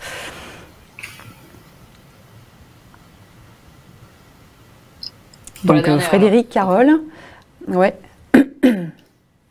Euh, moi, je veux bien Comment commencer à répondre sur la partie pour les producteurs? Sur la partie AgriProgress. Alors, euh, mm -hmm. dans l'ordre, donc, il y avait trois questions. Euh, le retour des, le retour des, don de le, des informations sur les données, c'était la première question, je crois. En fait, euh, quels exemples de, de, données que l'agriculteur pourra partager avec le consommateur final pour valoriser son travail? Ah. Alors ça, c'est un vrai sujet. Euh, c'est sûr qu'il y a une adaptation nécessaire entre ce qu'on partage nous au niveau agricole, nos, nos, sujets de tous les jours finalement, et euh, ce qui est attendu et, perçu comme intéressant au niveau du consommateur. Et c'est un des retours d'expérience d'ailleurs qu'on a eu sur l'atelier consommateur et citoyen, c'est que finalement, j'essaye je, d'aller vite, euh, en gros, évidemment c'est faux dans le détail, mais en gros, euh, en, tant que, en tant que consommateur, nous, compris, et je dois dire que je me retrouve plutôt euh, euh, on va avoir deux, deux types d'attentes. Quand on est en magasin et qu'on fait euh, nos choix, il faut que l'information soit ultra synthétique, ultra digérée. On fait confiance à un ou plusieurs euh, labels, une ou plusieurs notes, mais enfin qui sont complètement intégratives d'un ensemble d'attentes de, de, du consommateur. Ça, c'est sur le paquet au moment où je suis dans le magasin. Par contre, j'ai besoin d'avoir confiance, moi, en ces informations-là. de les éprouver, de, de peut-être aussi en tant que consommateur un peu monter en compétence. Et donc il faut qu'il y ait un endroit où je retrouve le détail de cette information, ce que ça veut dire, les engagements que ça sous-entend, et que voilà, si on prend une, une note une note globale, et ben, de savoir ce que ça veut dire d'être A, B, C ou D. Et ça, c'est plutôt une information du coup qu'on va retrouver online, euh, chez soi, pas au moment où on fait euh, notre acte d'achat, parce que euh, on est tous hein, à ce moment-là dans l'efficacité, mais voilà, dans notre vie de tous les jours, de pouvoir gagner en confiance sur ce, type de, label, et du coup d'avoir un endroit pour, le consulter. C'est ça en fait le sujet, l'intersection entre la demande consommateur et nous, le travail de l'amont, il est là il est euh, comment je, donne à disposition une information circonstanciée, euh, fiable et robuste puisqu'elle s'appuie sur les données directes des agriculteurs et non pas comme le disait Frédéric, enfin c'est le cas pour nous, euh, et non pas sur des moyennes globales de prouver l'engagement de ces agriculteurs pour, sur les critères qui ont été définis. Mhm. Voilà, ça c'était le, premier point et j'avoue que du coup j'ai un peu oublié les deux autres questions. Ah, si, est-ce qu'on a des euh, exemples concrets? On est en train de les travailler. Ouais. On est en train de les, voilà, on est sur le sujet euh, de, de vraiment sorti pour l'instant, pas encore, mais euh, c'est. Bah, Frédéric, tu as peut-être envie de répondre à cette question, mais on est vraiment, vraiment dans le dans le cœur du sujet. Très rapidement, Frédéric. Et après, je, je, repasserai la parole à Stéphano pour, pour enchaîner sur la dernière a sûrement d'autres exemples. Euh, donc pour, pour répondre, vous m'entendez? Oui, super. Oui. Euh, l'exemple de la baguette est un bon exemple. Euh, c'est hyper concurrentiel et une baguette, c'est 0,85 euros. Donc, à un moment donné, quand, même si vous rajoutez des tonnes et des tonnes d'informations, vous êtes dans un marché concurrentiel à 0,85 euros. Donc, par en fait la remontée d'informations pour résumer ce qu'a dit Carole, c'est on-pack et online. On-pack, on peut pas mettre euh, sur énormément de choses. Online, on mm. peut mettre plus de choses. Et tout ça, c'est des modèles économiques qui sont en cours de construction. En fait, ce qu'on essaye de faire, c'est faire euh, euh, puis ça vous a pas échappé qu'on est en contexte de crise et que le pouvoir d'achat euh, est, est, compliqué. Donc il faut trouver une équation euh, qui permet de valoriser à la fois la marque. Euh, et donc ça c'est le goodwill de la marque, ça va parler aux financiers, mais c'est important. il y a également, euh, effectivement, peut-être quand on peut trouver un premium, il faut pouvoir le justifier. Donc, aujourd'hui, on est dans cette équation un peu compliquée et, chaque filière est différente. Et donc, on travaille euh, sur la céréale, le petit déjeuner, on travaille sur la baguette. Euh, et c'est des sujets sur lesquels on, est, on est impliqué avec les partenaires agricoles. Ça fait partie des sujets qu'on travaille. Ok, merci. Euh, je voudrais que le temps tourne et que euh, je, préfère commencer cette, euh, la dernière séquence table ronde dès maintenant pour pas qu'on perde davantage de temps. Je, garde les, questions qui ont déjà été posées pour la fin, si ça vous convient, pour qu'on puisse, pour qu'on puisse enchaîner tout de suite et, qu'on se garde bien une bonne heure de discussion en, en format table ronde. donc, cette, euh, cette troisième séquence, euh, en fait, l'idée c'est qu'on puisse euh, donner la parole un éleveur, donc euh, Étienne Fourmont qui est, qui est là, euh, et puis à, trois représentants d'acteurs clés euh, finalement de ces nouveaux écosystèmes de traçabilité numérique. donc avec Juliette Leclerc pour GS1 France, avec Sébastien Picarda pour AgData Hub, et puis Mathias Herman pour Orange Business Service, des acteurs qui nous ont semblé vraiment structurants de ces, de ces nouveaux, nouveaux réseaux. Donc je vais d'abord donner la, la parole à, à Étienne. Euh, donc Étienne, je crois que tout le monde vous connaît, mais on va quand même euh, euh, rappeler qui vous êtes. Donc vous êtes éleveur laitier dans la Sarthe, vous êtes agriculteur, youtubeur, vous êtes très présent sur les réseaux sociaux avec des milliers d'abonnés. D'ailleurs, j'en profite pour dire que notre notre événement, vous pouvez le suivre également en live sur sur Twitter. Il y a un certain nombre de tweets que, que je vois passer. alors comment vous, en tant qu'agriculteur, en tant qu'éleveur, vous vous vous appropriez finalement ces outils numériques euh, euh, dans, votre, dans votre production de tous les jours. Je crois qu'avec le robot de traite, vous êtes vraiment au cœur de, de ces sujets. Euh, et puis, quels sont, bah, finalement, qu'est-ce que ça vous a apporté de plus et quelles sont vos craintes, en fait, vos réticences par rapport à, à les, au sujet qu'on a déjà abordé hein, cette, Est-ce qu'il y a vraiment une création de valeur ou pas? Est-ce que vous avez l'impression d'être engagé en mode gagnant-gagnant ou est-ce qu'il y a des choses qui pourraient encore être améliorées? Alors bonjour, à tous et merci beaucoup pour, euh, pour l'invitation et pour le débat, la première partie qui était hyper intéressante. Euh, donc oui, comme vous voyez derrière moi, hop, de côté, il y a déjà un robot de traite qui est en train de traire, il y a une vache dedans. Donc je collecte en ce moment des données euh, qui vont aller dans le PC qui est juste à côté de moi et qui vont me permettre de, mieux suivre mon troupeau, voir la santé des animaux, voir la qualité du lait que je produis aussi. Donc j'ai plein et j'aurais pu vous emmener avec moi parce que je vais essayer de tourner un petit peu. Mais là, vous voyez, Là, j'ai mon ordinateur. Je sais pas si vous voyez. Et tous ces petits cadrans là, tous ces petits, euh, tous ces petits cadrans, c'est des informations euh, sur euh, voilà la vache, la santé des animaux, la qualité du lait, quand est-ce qu'elle passe, est-ce qu'elles sont en bonne santé, est-ce qu'elles bougent beaucoup, est-ce qu'elles ruminent. Donc j'ai ces robots là qui me permettent, enfin j'ai ces, informations là, ces data là qui me permettent de, de collecter des informations pour savoir si mon troupeau est en bonne santé et si mon lait est de bonne qualité. Et j'ai même cherché un petit peu, je me suis dit, mais je, fais ça depuis, ça fait 20 ans maintenant, 21 ans qu'on est équipé de robots de traite et qu'on collecte des informations pour mieux gérer le troupeau, pour mieux gérer la qualité du lait aussi. Et je vous ai même ressorti des datas agricoles qui datent de 40 ans maintenant. C'est mon père qui notait sur une feuille toutes les informations de qualité du lait, de numéro des vaches, ce qu'elles vélaient, euh, le veau, tout ça. Donc euh, les datas agricoles remontent à, je dirais presque des siècles, mais euh, depuis très très longtemps. Et donc, en fait, toutes ces données-là, et j'aurais pu vous emmener aussi dans le troupeau avec le robot qui aspire euh, les déjections des animaux, le robot qui repousse le maïs sauvage, le fourrage aux vaches, euh, et toutes ces données-là qu'on collecte me permettent de beaucoup mieux gérer, de beaucoup mieux anticiper euh, la santé des animaux, la qualité du produit, donc du lait que je vends à mon acheteur, qui est, alors, dans mon cas, moi, qui est Belle, l'entreprise Belle qui collecte mon lait. Et, aussi des données alors que je fais moins mais dans les champs, dans les tracteurs, où là je collecte moins de données parce que je suis moins connecté euh, dans les champs que sur les vaches. Mais voilà, ça me fait toutes ces informations-là que je collecte, que je collecte énormément de données tous les jours. Ces données-là, elles sont utilisées par beaucoup de monde, puisque alors par Lely, qui est le constructeur de mes robots de traite, et qui me permet d'analyser toutes ces données-là, de les collecter et de me les euh, une fois que je les collecte, de me les, mettre lisibles en fait, euh, pour pouvoir euh, moi les analyser parce que c'est des milliers, des dizaines de milliers de chiffres par jour. Et s'ils me balançaient tous les chiffres dans un tableau Excel, je ne pourrais pas les analyser.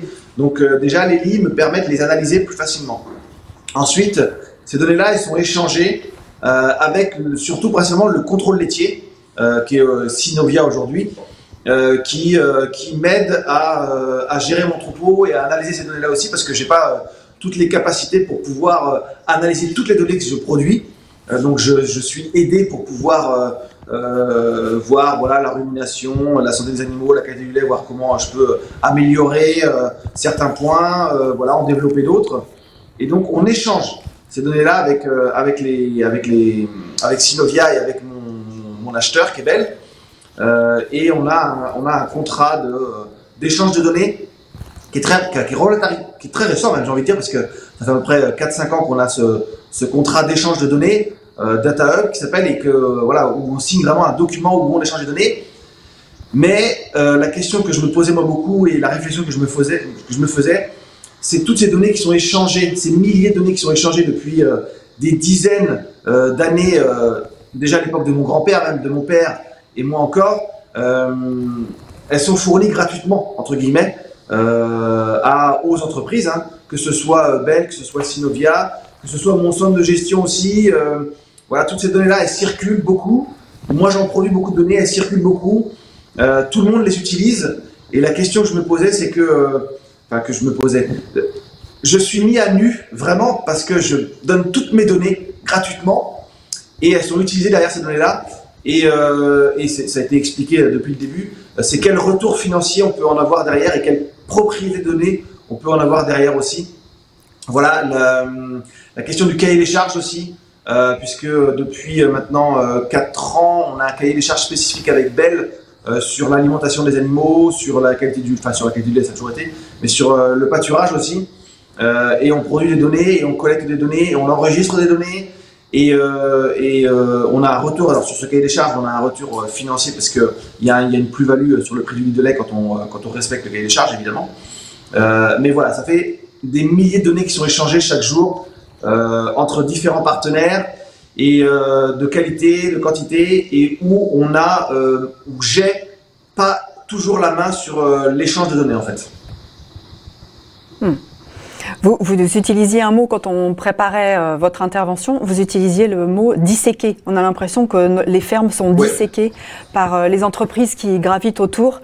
Et euh, là, vous avez utilisé mise à nu, mais c'est tout à fait le, ce, ce sens-là, en fait. C'est la même chose. On a l'impression que beaucoup de gens connaissent plein de choses sur nos fermes, mais finalement, et nous, qu'est-ce que ça nous rapporte? C'est exactement ça. C'est-à-dire que j'ai un client qui achète mon lait, il connaît tout de moi, exactement ce que je produis, euh, le temps que j'y passe, euh, la qualité de mon il connaît tout, absolument tout de moi. Mais moi, je connais rien, entre guillemets, je connais rien de lui. Et, euh, c'est ça qui est perturbant et qui est un peu gênant, c'est que voilà, on est vraiment, voilà, on est, disséqué, on est analysé, on est, on est vraiment mis à nu, comme je disais tout à l'heure.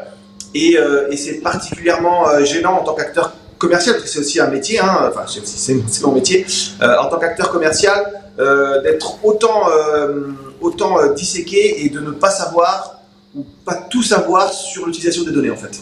Hmm. Donc, ce que vous demandez, c'est plus de transparence, justement, pour vous, euh, pour de, savoir qui utilise vos données et pourquoi faire. Et, finalement, ce que vous demandez, c'est davantage de retour de valeur pour vous-même, euh, justement dans une démarche de progrès qui a été déjà abordée tout à l'heure. Et c'est exactement ça, c'est-à-dire que ça a déjà été abordé tout à l'heure, mais c'est vraiment euh, est-ce que euh, mes données, quelle valeur je donne à mes données euh, quelle, quelle, propriété aussi je donne à, ces, à ces données-là aussi? Est-ce que une fois qu'elles sont sorties de l'exploitation, est-ce qu'elles sont, est-ce qu'elles sont plus à moi Donc il y a, y a, plus, moi je peux plus en tirer de valeur? Euh, à partir du moment où elles sont dans l'ordinateur, qu'elles sont dans le programme Lely et que Lely a accès à ces données-là et que Synovie a accès à ces données-là, quelle, quelle valeur elles peuvent avoir et qui en est propriétaire Et voilà, c'est énormément de choses qui font que c'est relativement récent, mais j'ai envie de dire que euh, on a perdu la main dessus depuis, euh, depuis des dizaines d'années, euh, où on a laissé les autres acteurs gérer ces données-là. c'est comment on retrouve une valeur, quelle valeur on leur donne et comment on la retrouve, nous, sur le terrain agriculteur, cette valeur-là. Ok, donc un sentiment de dépossession quelque part? Hein, dépossession de, de, ces données. Complètement, ouais, non, mais c'est exactement ça. C'est-à-dire que euh, on, donne, on, donne, on donne, on donne, on donne des, centaines de données et on n'a pas de retour ou très peu derrière. Euh, alors, moi j'ai l'impression que ça rejoint un petit peu l'interrogation de Marcel au tout début qui disait euh, mes données historiques, à partir du moment où je, je change d'opérateur, je ne sais pas ce qu'elles deviennent et j'ai l'impression qu'elles ne m'appartiennent plus. Hein, C'était un petit peu ça, Marcel, hein, si je résume correctement. Oui, non, tout à fait. C'est ça. Ok. Bon, bah écoutez, je pense que les questions sont, sont, bien posées et les trois intervenants qui suivent vont pouvoir euh, euh, tenter de répondre à ces, à ces questions-là. Euh, je, voudrais, je voudrais donner la parole à Juliette Leclerc pour, pour GS1 France. et, alors, question, donc, qu'est-ce que c'est que GS1 France? Il y a peut-être des gens qui vous connaissent pas encore très bien. là, on aborde en fait la question de la standardisation du langage commun des données avec vous. Euh, donc j'aimerais que vous puissiez nous présenter pour, pourquoi en fait GS1 euh, s'intéresse euh, au monde agricole et, agro-industriel, parce que je crois que vous travaillez sur plein d'autres secteurs, pas, seulement ces, secteurs d'activité-là. Et puis comment vous vous impliquez en fait aux côtés des, acteurs économiques de, cette, de, cette, de ce secteur d'activité pour la construction justement de ces, de ces nouveaux écosystèmes de, traçabilité numérique Et puis, est-ce que vous avez déjà quelques réponses à, apporter, euh, en particulier aux, deux agriculteurs qui se sont exprimés jusque-là? Merci Marie-Cécile. Déjà, merci pour l'invitation et, la participation euh, à la publication qu'on lance aujourd'hui. Alors, je vais peut-être présenter effectivement rapidement GS1 France parce que euh, vous connaissez pas forcément ce que c'est. Vous connaissez au moins euh, un des produits emblématiques qui est le code barre. Euh, donc ça, je pense que tout le monde connaît. Euh, mais GS1, donc c'est une organisation mondiale de standardisation.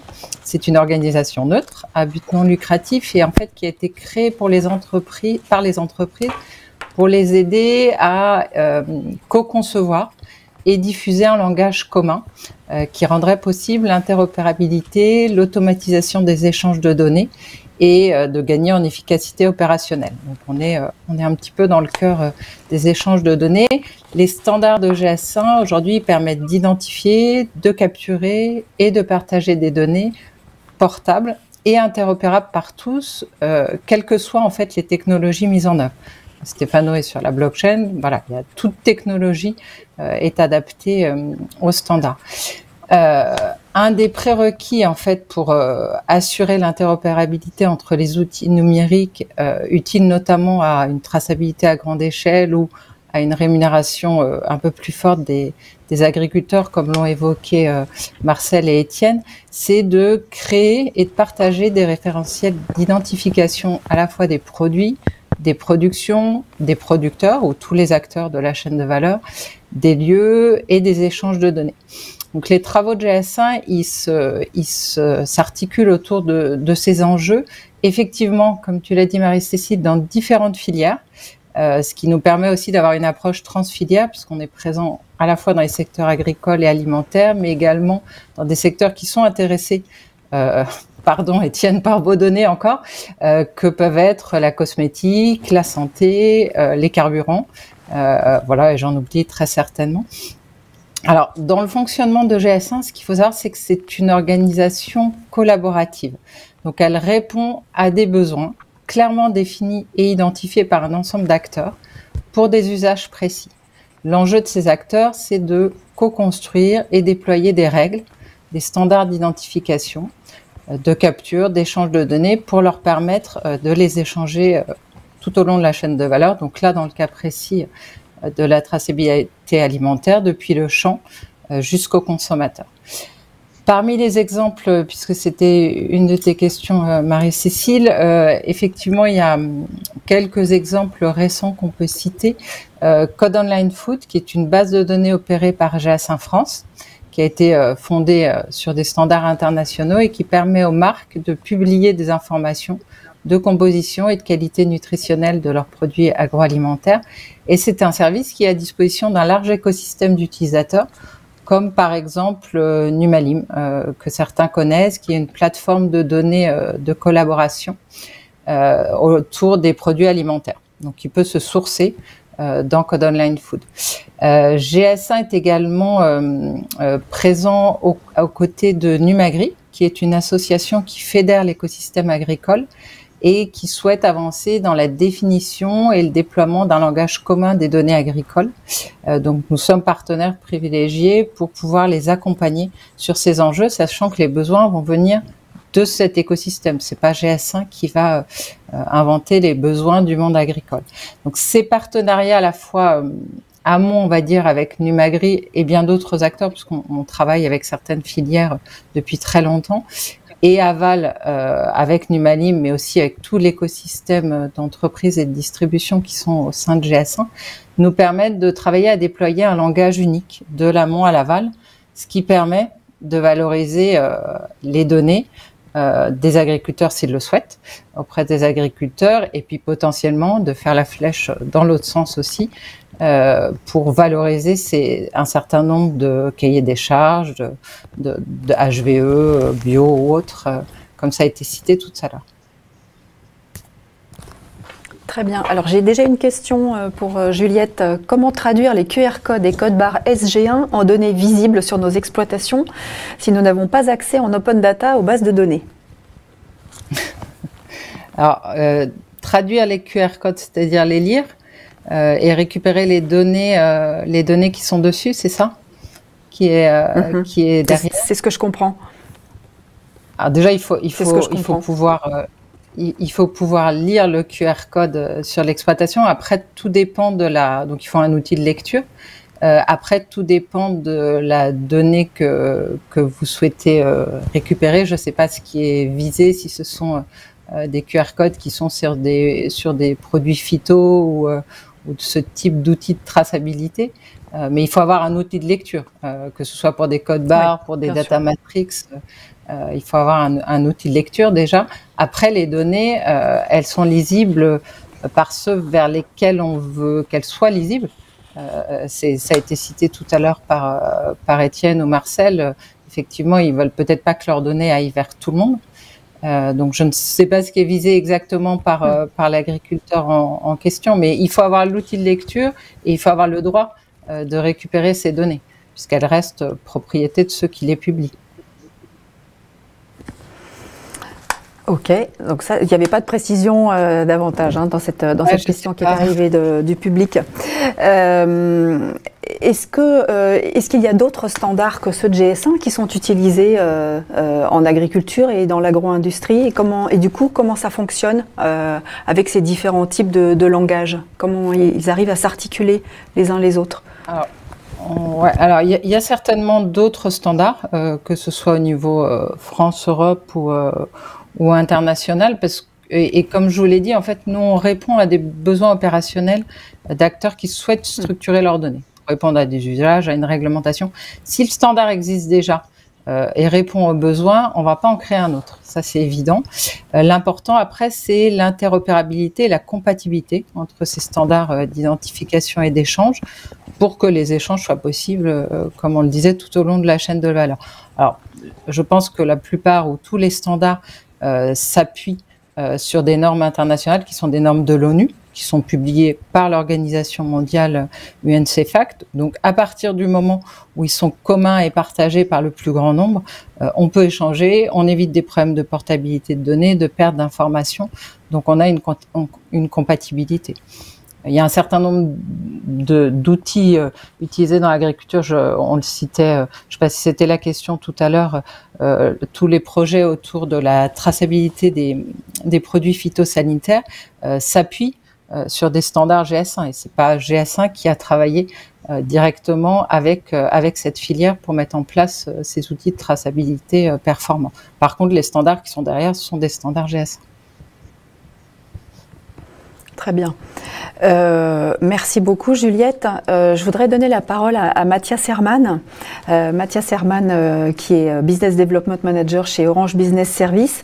Donc Orange c'est un, acteur qui est souvent discret mais qui est de plus en plus présent, j'ai l'impression, dans, la, dans la construction de ces nouveaux réseaux d'acteurs de, de, traçabilité numérique, en particulier en tant que facilitateur technique, j'ai l'impression.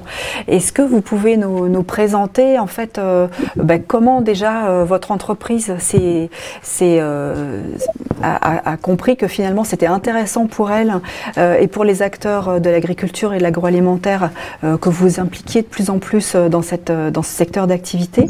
Et puis, et puis concrètement, qu'est-ce que vous apportez aujourd'hui aux, acteurs de nos secteurs? Oui, bonjour et merci hein, de, me faire participer à, ce débat. Euh, Orange est la marque, l'activité d'Orange est connue par le grand public pour, euh, la, partie téléphonie, mais pour le, le, monde de l'entreprise, Orange travaille euh, évidemment, enfin, beaucoup sur des aspects données, des aspects d'architecture, de plateforme, de sécurité et sur euh, un grand nombre de secteurs. Euh, on est très visible à l'heure actuelle dans la partie banque, par exemple. On a aussi des activités beaucoup plus avancées sur le secteur de la santé, sur le secteur des smart cities ou des bâtiments intelligents, euh, un, un grand nombre de, secteurs, l'industrie aussi. Et c'est dans ce cadre-là qu'on s'intéresse aussi au secteur euh, agricole, euh, parce qu'on sent bien qu'il y a, comme dans tous ces secteurs, un aspect de numérisation des métiers qui vient changer, améliorer des conditions, changer les pratiques. donc Orange se positionne plutôt comme un facilitateur technique, grâce à tous ces assets sur ce que je viens de citer, et pour améliorer l'échange de données euh, sur, euh, sur ces, chaînes de valeur qu'on a vues depuis, tout à l'heure, et, et d'aider les entreprises, d'aider euh, euh, les entreprises à, à, travailler ensemble, à mieux échanger, à mieux structurer. Donc on participe euh, déjà à, des... On, on, participe aussi, comme l'a cité à l'instant euh, Juliette, on, participe aussi à Numalim, euh, à cette plateforme qui est issue plutôt du monde de l'agroalimentaire. On participe euh, au à ce travail aussi avec Agdataum, euh, plus particulièrement sur la gestion du consentement et de l'identité numérique, donc pour améliorer euh, aussi cette captation de données, faciliter l'échange de données et, et son exposition. Euh, voilà, on travaille donc euh, sur le réseau, euh, on a apporté des nouveaux réseaux pour, pour les objets, on, on déploie aujourd'hui un, un, grand nombre de... Enfin, on participe au déploiement de la fibre optique, on participe aussi au déploiement de la 4G sur l'ensemble du territoire, le New Deal. Donc il y a beaucoup d'actions qui vont permettre aussi, euh, qui sont tournées vers les territoires pour améliorer l'accès euh, des agriculteurs, aussi euh, enfin, du monde rural au sens large, à tous les services euh, numériques peuvent être apportés par, par des sociétés de différents secteurs. On participe aussi beaucoup à des expérimentations euh, avec le métier agricole, justement pour être confronté à des cas d'usage particuliers, euh, que ce soit sur les grandes cultures, l'élevage, euh, et essayer d'accompagner euh, cette structuration, de, participer avec les équipes R&D d'Orange sur peut-être la mise en voilà, mise en, en exploitation de, de certaines certaines voilà, certaines techniques qui n'ont jamais été euh, testées jusqu'à maintenant. C'est mon rôle aujourd'hui chez Orange de d'apporter ces éléments, euh, ces échanges vers le monde agricole et agroalimentaire. Ok, merci. Euh, vous pourriez nous citer un ou deux exemples justement d'implication de cas d'usage où, euh, où, Orange est impliqué? Je crois que dans l'irrigation intelligente, euh, c'est votre, votre implication est, est, de plus en plus importante? On est en train de tester avec des partenaires qui sont fournisseurs d'objets et aussi des partenaires techniques sur la restitution des données un test sur une offre commerciale. On le teste en ce moment en région Occitanie euh, pour euh, voilà, être confronté aussi euh, à cette, cette appréhension de, de, ces changements pour, bien sûr, dans le but d'aider les irrigants à consommer mieux de enfin, l'eau au meilleur moment, donc de réduire la consommation d'eau d'une certaine manière, si possible, et de réduire aussi la consommation énergétique qui est associée. Voilà un exemple. Donc là, on, est, euh, on est dans l'accompagnement euh, des agriculteurs ou, de l'écosystème agricole, en fait, euh, dans la transition agroécologique hein, dont, dont, parlait tout à l'heure Frédéric et, Carole également pour, pour AgriProgress. Il y, a, il y a une, un événement récent d'Orange euh, auquel j'ai assisté qui m'a paru très intéressant. Euh, c'était l'Orange Business Summit du 16 mars où euh, j'ai noté que les, valeurs d'éthique et de responsabilité par rapport à la gestion des données étaient vraiment au cœur des, débats et, de, des valeurs en fait qui avaient été mises en avant à ce moment-là. C'est intéressant en fait. Je, je trouve ici il, est, il, a beaucoup été question la depuis 10 heures de, de, crainte finalement des agriculteurs de, se faire subtiliser leurs données sans qu'ils aient cette visibilité. Et, en fait, dans le grand public, c'est un petit peu la même chose. Il y a aussi cette crainte du grand public de se faire accaparer leurs propres données par les géants du numérique. Et en fait, j'ai l'impression que ces, valeurs d'éthique et de, bonne gestion des données, de responsabilité des données, c'est vraiment euh, des, des, choses qui sont euh, très importantes aujourd'hui pour, euh, pour votre groupe.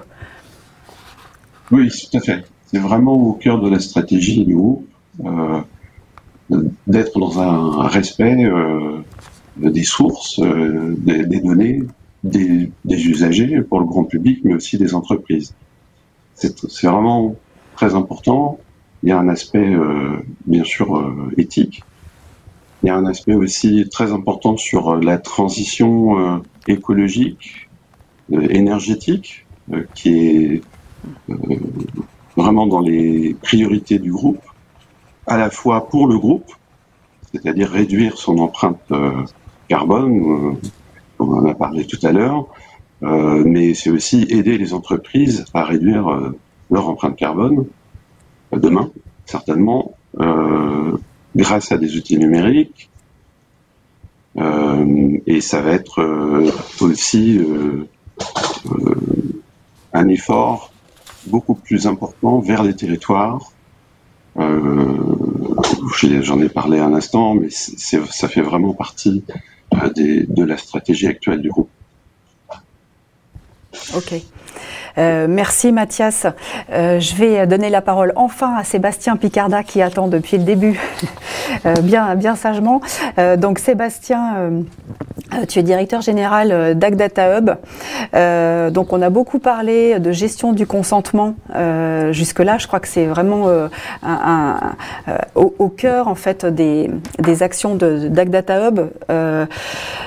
donc il, il, nous a semblé vraiment important de te donner la parole aujourd'hui parce que euh, j'ai l'impression que cette, cette plateforme aujourd'hui devient de plus en plus structurante par rapport à l'écosystème national hein, des, données agricoles, euh, par euh, la mise en réseau finalement de différents acteurs qui, euh, s'impliquent dans la construction de ces, nouveaux systèmes de traçabilité augmentée, on l'a vu, mais aussi la gestion du consentement euh, par rapport au partage des données des agriculteurs. Hein, C'est vraiment au cœur des discussions de ce matin.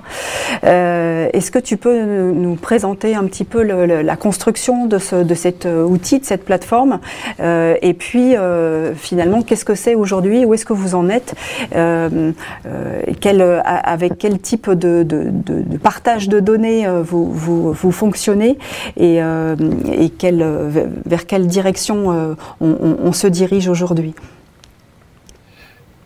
Merci pour l'invitation. Et effectivement, Agdatub est aujourd'hui positionné comme un opérateur de plateforme de consentement et d'échange de données euh, spécialisé dans le secteur agricole et qui se place euh, au service des cas d'usage qui ont été présentés au début euh, de, euh, cette conférence avec Stefano et, et, Invivo sur ces éléments-là, qui est une, une vision très, on va dire, horizontale filière, mais qui nécessite comme cela a été dit, euh, d'avoir accès à des technologies qui permettent de maîtriser et de sécuriser pour l'agriculteur la collecte de ces données sur son exploitation agricole, les modalités de saisie de ces pratiques parcellaires, ensuite de savoir où sont stockées ces données, comment euh, l'agriculteur doit euh, donner son consentement afin de euh, définir un usage de ces données qui seront ensuite échangés, traités et restitués vers, euh, l'agriculteur, soit au travers d'outils d'aide à la décision d'une part pour améliorer l'efficacité économique, technique et environnementale de la production agricole dans, dans, toutes les filières animales ou végétales, ou bien de pouvoir accompagner un système de filières et de traçabilité augmentée comme cela a été présenté.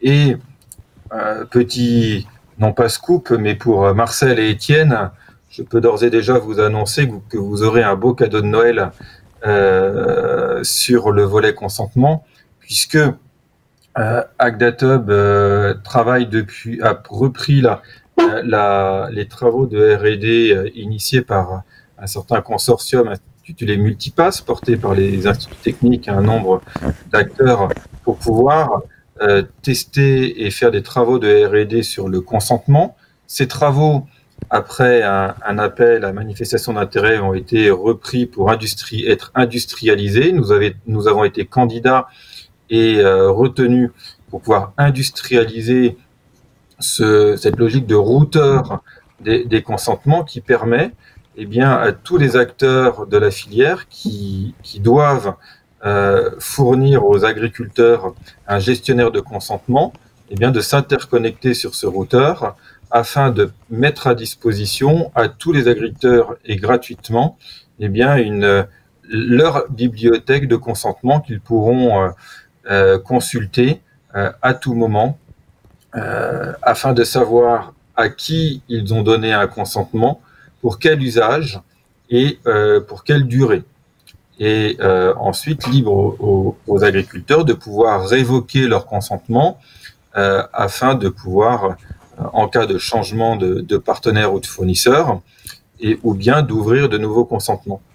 Ça, c'est un point qui est fondamental pour répondre à la question euh, d'Étienne sur la transparence. Effectivement, euh, les, les, données euh, captées par euh, le machinisme ou par euh, d'autres acteurs, euh, eh bien, sont, sont liées à, à, un contrat, mais qui doit nécessiter un, un, des termes très précis. C'est comme un contrat de blé ou un contrat euh, de, de vente de, de, de, carcasses. Vous devez identifier euh, les deux parties, euh, donc l'acheteur et le vendeur, définir la chose, à savoir la, la donnée, définir les usages et définir une durée et à tout moment être en capacité à ré, résilier un contrat. Je pense que pour que des agriculteurs qui sont des professionnels et qui passent leur, journée à passer des contrats, oralement et maintenant d'un point de vue digital, il est important de, de, de garder en tête qu'ils doivent à tout moment travailler avec des partenaires qui sont dans cette philosophie-là. Et Agdatub fournit un, fournira d'ici euh, cet été euh, toute une gamme de modules liés au consentement qui euh, mettra en œuvre notamment les, principes juridiques portés par la charte Data Agri, initiés par la FNSEA et les jeunes agriculteurs, qui, euh, qui permettent, eux, de sécuriser les, clauses contractuelles que les agriculteurs doivent signer dans, dans le numérique. Donc, très clairement, sur le volet consentement, avant de passer à l'échange de données, euh, c'est un sujet qui est fondamental pour euh, établir la confiance euh, en amont de tout échange de données. Ce dossier tellement euh, n'est pas naturellement spécifique à l'agriculture et à l'agroalimentaire, c'est une démarche de fond et qui se traduit en ce moment par des discussions intenses au niveau européen autour d'un projet de règlement qui s'appelle le Data Governance Act, qui va être fondateur pour l'ensemble des acteurs de la technologie et de la data et qui eh bien, reprend, reprend l'ensemble des concepts que euh, je vous ai détaillé et le règlement étant d'application directe dans tous les États membres, eh bien, s'appliquera rapidement dans l'ensemble des secteurs économiques, dont l'agriculture, qui n'en est pas exclue. Voilà où nous en sommes, euh, Marie-Cécile, sur le volet euh, consentement. Si je puis dire peut-être juste deux mots sur l'échange de données, qui est le deuxième pilier de l'activité euh, de, de Agdatub, au travers de la plateforme historique API Agro, qui a été initiée par les instituts techniques et les chambres d'agriculture et qui aujourd'hui comprend plus de 1000 utilisateurs, euh, et eh bien pour arriver dans une logique euh, d'échange euh, décentralisé de données. Effectivement, on peut avoir une vision filière où on a un agriculteur, un OS coopérative ou négoce, un industriel, un distributeur. Mais dans la, dans la vraie vie, euh, on est en France avec 460 000 exploitations agricoles qui, sont, qui doivent être interconnectés avec près de 85 000 partenaires en amont et en aval. Et euh, pour éviter que l'agriculteur s'arrache la tête ou, les cheveux, il est indispensable qu'il puisse avoir un moment eh bien, euh, des systèmes qui massifient les échanges de données, qu'ils soient maîtres et qu'il ait un cockpit qui lui permet d'identifier ses consentements, et derrière que la mécanique, les réseaux de données puissent se connecter. C'est notre métier de plateforme d'échange de données que d'assurer après le consentement de l'agriculteur, eh bien de pouvoir délivrer les bonnes informations euh, aux partenaires que l'agriculteur a choisis pour les usages définis pour une durée donnée. Et c'est ça pour nous l'élément clé qui permet d'assurer la confiance et la transparence des échanges de données pour éviter des situations euh, parfois vécues aux États-Unis où la propriété de la donnée reste celle du machiniste. Le machiniste met à disposition ou consent une visibilité des données de l'agriculteur, mais derrière en fait euh, euh, du commerce ou de l'échange, soit pour pouvoir alimenter euh, le cours des, flux mondiaux de, de, commodities, soit apporter du marketing plus précis sur ces produits en tant que tels. Donc n'oublions pas, n'ayons pas peur des GAFAM, ils sont là, ils ont toute leur place dans le dispositif dans un cadre réglementaire et législatif européen, mais également les, grands acteurs de l'agrochimie, du machinisme et de, la distribution agroalimentaire euh, qu'il convient d'encadrer de, euh, réglementairement. Merci Sébastien. Euh, pour, pour rebondir sur la charte Data Agri, j'ai eu euh, quelques, quelques questions euh, qui sont arrivées pendant que tu parlais. pour protéger les données, pourquoi ne pas s'inspirer de la charte Data Agri lancée en 2018 par la FNSEA et les JA En fait, je crois que c'est le cas. en fait, si, je comprends bien, hein, la charte Data Agri, c'est une déclinaison nationale du Code de bonne conduite européen qui, qui a été initié en particulier par le Et un certain nombre d'autres organisations européennes euh, des industriels euh, au, niveau, euh, au niveau agricole. C'est exactement cela. Data Agri et le volet juridique et les solutions Agdatable qui sont intitulées AgriConsent sont, la, sont le volet technologique qui permettent de mettre en œuvre ces pratiques juridiques à l'ensemble des acteurs des filières et des agriculteurs. Donc on a bien deux piliers complémentaires. Hein. DataAgri, le juridique, et AgriConsent, la solution techno. D'accord. Et Étienne, DataAgri, ça, ça vous dit quelque chose, cette labellisation euh, Vous êtes, euh, c'est familier pour vous cette, euh, ce, concept? C'est familier parce que je suis, on va dire, connecté et que ça, ça m'intéresse.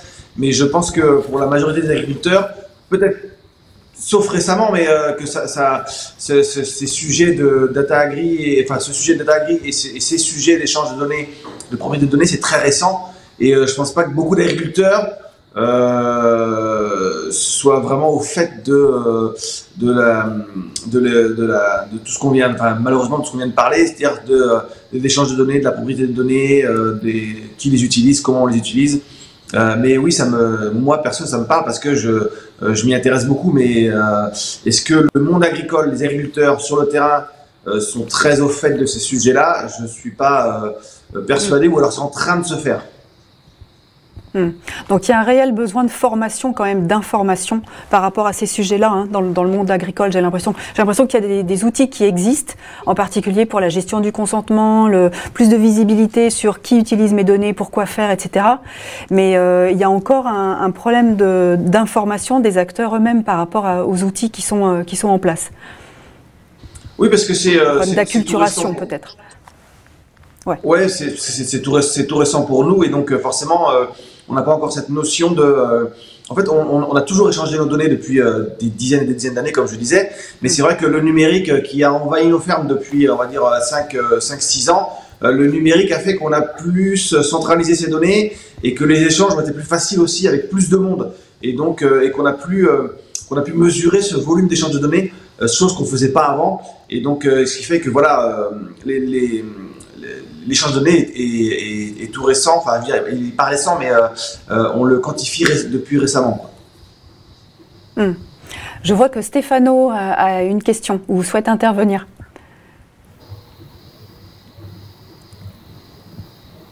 Euh, Alors Stéphano, on te voit, mais on t'entend. Voilà, on t'entend. Très bien. Voilà. oui, c'est dans la continuité de cet échange, donc de la valorisation de cette richesse. Je comprends tout à fait la, oui, l'importance de créer de la valeur. Je pense que le bon équilibre à trouver, en avançant, parce que c'est quelque chose qui est en train de se créer, de se structurer, c'est de euh, trouver le bon équilibre entre protection et création de valeur. faut éviter que ça devienne un carcan tel pour lequel ces données deviennent inexploitables et donc on aura protégé toutes les données, mais on ne pourra pas créer de la valeur. Quand je dis créer de la valeur pour les producteurs, pour ceux qui génèrent cette donnée, donc il faut avoir un cadre qui protège celui ou l'entité qui génère et qui dispose de la donnée, mais aussi une certaine fluidité pour que ça ne devienne pas tellement compliqué qu'on dise bon laisse tomber et du coup on passe à côté d'une opportunité de créer de la valeur. Pour moi c'est un peu comme les panneaux solaires qu'on met sur une ferme. Bah, un panneau solaire, il faut qu'on sache qu'il appartient à cette ferme, il, il, génère de la richesse pour la ferme, et voilà. Mais si après on met 25 000 problèmes, 25 000 contraintes, eh ben on risque de dire bon, écoute, on la met pas à ce panneau solaire. Et donc on génère plus, on est ultra bien protégé, mais on génère pas de richesse.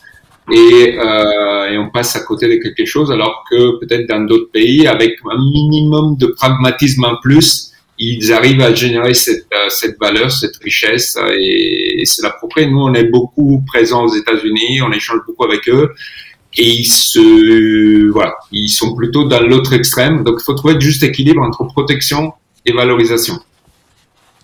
C'est mon avis au moins. Est-ce que quelqu'un d'autre voulait réagir euh, par rapport à ces sujets? Euh, Moi, je veux bien. J'ai okay. une petite. Euh, ouais. Oh. Ouais, juste une petite remarque. Euh, on a parlé beaucoup en première partie du cahier des charges. Euh, qui pouvaient être mises en place et puis euh, suivies par rapport aux données qu'on pouvait échanger tout. Moi, il y a une crainte aussi qui me, parce que je le vois bien, c'est très récent avec mon collecteur qui est Bell. c'est très récent, c'est les, les, cahiers des charges en fait.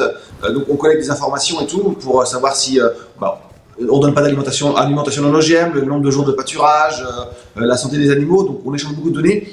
Et, et ce que j'ai peur ou ce qui pourrait arriver, c'est le flicage en fait où, euh, où on nous contrôle H24, on nous filme H24. Euh, je vais peut-être vers des extrêmes, mais euh, et, euh, et, on collecte nos données H24, on sait tout de nous et on, aura, on a l'impression d'être parfois euh, fliqué pour aucun retour derrière. Oui, ça, ça c'est un sujet récurrent. Hein. On, on, en parlait également avec Marcel euh, dès, dès, le départ. Hein. Ce côté Big Brother ou flicage, effectivement. C'est euh, là on parlait d'outils intrusifs. Les outils les, plus intrusifs, évidemment, sont un sujet de crainte et c'est légitime hein, pour euh, pour les agriculteurs et les éleveurs. Je, pense en particulier pour les éleveurs avec les questions de bien-être animal, santé, bien-être des animaux. S'il y a des caméras dans les élevages, euh, qui qui utilise les images, euh, ça peut être dangereux. Si, c'est par des gens mal intentionnés. Euh, et, du coup, ce qu'on se, disait avec Marcel au moment de la préparation de la note, c'est euh, comment euh, faire en sorte que les données ne soient pas disponibles pour tout le monde finalement. est-ce que vraiment les consommateurs doivent avoir accès à tout, ou est-ce que c'est simplement certains utilisateurs qui auront un accès réservé aux données les plus intrusives, par exemple caméras de surveillance? Et c'est la question, je pense, même en production végétale des, des, euh, de tout ce qui est euh, capteurs temps réel finalement, qui sont utiles pour les opérateurs, mais qui ne sont pas forcément utiles euh, jusqu'aux jusqu'au consommateurs. Et euh, donc cette question de qui a accès et cette question de pendant combien de temps finalement, euh, est-ce qu'on ne pourrait pas rejoindre un petit peu ce qui se passe au niveau de, de RGPD et de la protection des données personnelles avec un, un temps limité finalement d'accessibilité de, de, de, ces données? Oui, Cécile, si je peux me permettre. Oui d'intervenir parce que je pense qu'il y a deux, deux éléments. Je vais préciser l'intervention de, de, Stéphano et, et, aller dans le sens d'Étienne. Je pense que euh, on est dans un vrai sujet et dès qu'on parle data, on parle souvent techno, on parle souvent marketing et, et, et valorisation économique, ce qui est la finalité, mais on oublie le droit. Et euh, je pense que quand on est en filière, et je l'ai répété à différents niveaux, le contrat est fondamental. Euh, le contrat, c'est ce qui permet de, lier euh, euh, deux contreparties, de définir la chose transmise, la valeur économique éventuelle et les droits associés. En l'exemple très concret, un agriculteur, quand il signe un, un, contrat en cahier des charges, il s'engage contractuellement à mettre en œuvre les pratiques en tant que telles, et en contrepartie, il a, euh, et c'est l'objectif, une rémunération ou une prime qualité associée euh, autour de cela. Ça, c'est le droit du contrat. De l'autre, euh, vis-à-vis de Stéphano, pour ma part, je m'inscris un peu en faux par rapport à ce que tu as pu dire sur ouverture et fermeture. C'est pas du tout l'objet de, la discussion. L'objectif de la discussion, c'est de permettre à l'agriculteur, qui est un opérateur économique, au même titre qu'une coopérative, un négociant, un industriel un distributeur, de pouvoir choisir et de définir les conditions d'accès de ces données euh, à ses interlocuteurs, au même titre que quand il vend euh, euh, une tonne de céréales ou quand il livre une tonne de céréales, il connaît euh, la quantité, le PS, l'humidité et, euh, et les, les, les, éléments associés. Et donc, je pense que si on raisonne en disant on ouvre et on ferme, effectivement, c'est la fausse, la fausse question. La vraie question économique, c'est comment ramener de la valeur sur l'exploitation agricole en s'appuyant sur des sous-jacents qui sont classiques, qui est le contrat et euh, au départ la matière physique, mais maintenant les données associées. Et si on raisonne comme ça, je pense qu'on pourra aller un peu plus loin que vouloir opposer open data, accessibilité à tous versus fermeture des données. Et je comprends Sébastien je rebondis là-dessus. Ce que tu dis justement, c'est création de valeur et contrat euh, dans lesquels certaines informations sont presque dues. On dit, je te donne un produit qui doit respecter certains critères, donc tu dois me le prouver quelque part. Donc, nous, ce qu'on dit, c'est si les producteurs prennent la main, non pas en disant je ferme les portes, mais je deviens actif, je prends ma donnée, je la structure, je la valorise et je décide ce que je donne à qui et à quel prix et ce que je donne pas, je ne subis pas. Quand j'entends tous mes fournisseurs, mes clients me demandent ça et donc moi je vais pas lui donner, ok, mais c'est une bataille où à un moment donné on retrouve le plus fort qui impose au plus faible. Donc, ce qu'on dit. l'objet du droit. Le droit permet de rétablir les relations entre émetteurs, entre clients mmh. et fournisseurs. oui, oui, tu as raison. Mmh. Mais on va encore plus loin si on dit à ses clients, moi, je suis prêt à répondre, à t'apporter de la data valorisée qui te permet de créer de la valeur, mais c'est moi qui te l'apporte et tu me rémunères pour ça. Et nous sommes dans cette logique. Attendre et subir, c'est jamais une bonne solution. Nous, on pense qu'il faut être proactif des solutions qui permettent de valoriser la data. Oui. Alors, je vois que Carole a, a envie d'intervenir et Frédéric également. Oui, je voulais euh, vraiment euh, euh, renforcer ce côté-là. En fait, on a tendance euh, parfois à aller un peu vite sur la valorisation euh, du contrat, en oubliant que ben, aussi, si les agro-industriels sont paraissent souvent réfractaires à euh, valoriser euh, ça, c'est qu'il y a déjà des primes de contrat. Et donc, il faut bien distinguer, effectivement, euh, ce qui est du ressort de la production et des engagements que l'agriculteur prend sur la réalisation de ses productions et l'engagement sur la tenue des données. Et, et, cet investissement à tenir des, à valoriser des, à renseigner déjà des données qui sont robustes et fiables. Peut-être dans le temps de céder de technologie à l'image de ce que décrit Étienne sur le sur les robots euh, sur d'élevage, des données qui remontent toutes seules. C'est beaucoup plus délicat euh, en grande culture, euh, mais du coup de, challenger finalement la robustesse de ces données et de bien faire la part des choses qui seront de plus en plus objectives. En tout cas, euh, si c'est bien dans le cadre d'un contrat euh, équilibré, et de bien distinguer effectivement la valeur apportée par ces data des valeurs apportées par la production dans le, dans le cadre de ce contrat de filière.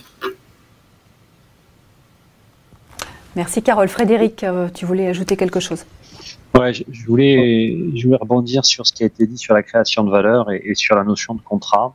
Euh, D'abord sur la, la, création de valeur. Je, dans l'exemple présenté tout à l'heure, je parlais d'une baguette à 85 centimes. Et, et, et, la création de valeur, elle n'est pas simple euh, au niveau des agro-industriels. Si c'était simple, ça aurait déjà été fait. Donc on est quand même dans une équation très complexe, et surtout aujourd'hui en 2021, parce que le, le premium, il n'est pas facile à trouver pour valoriser toute la chaîne de valeur jusqu'à jusqu'à Étienne qui, qui à juste titre dit je veux de la valeur sur ma data. la création de valeur est un est un sujet compliqué.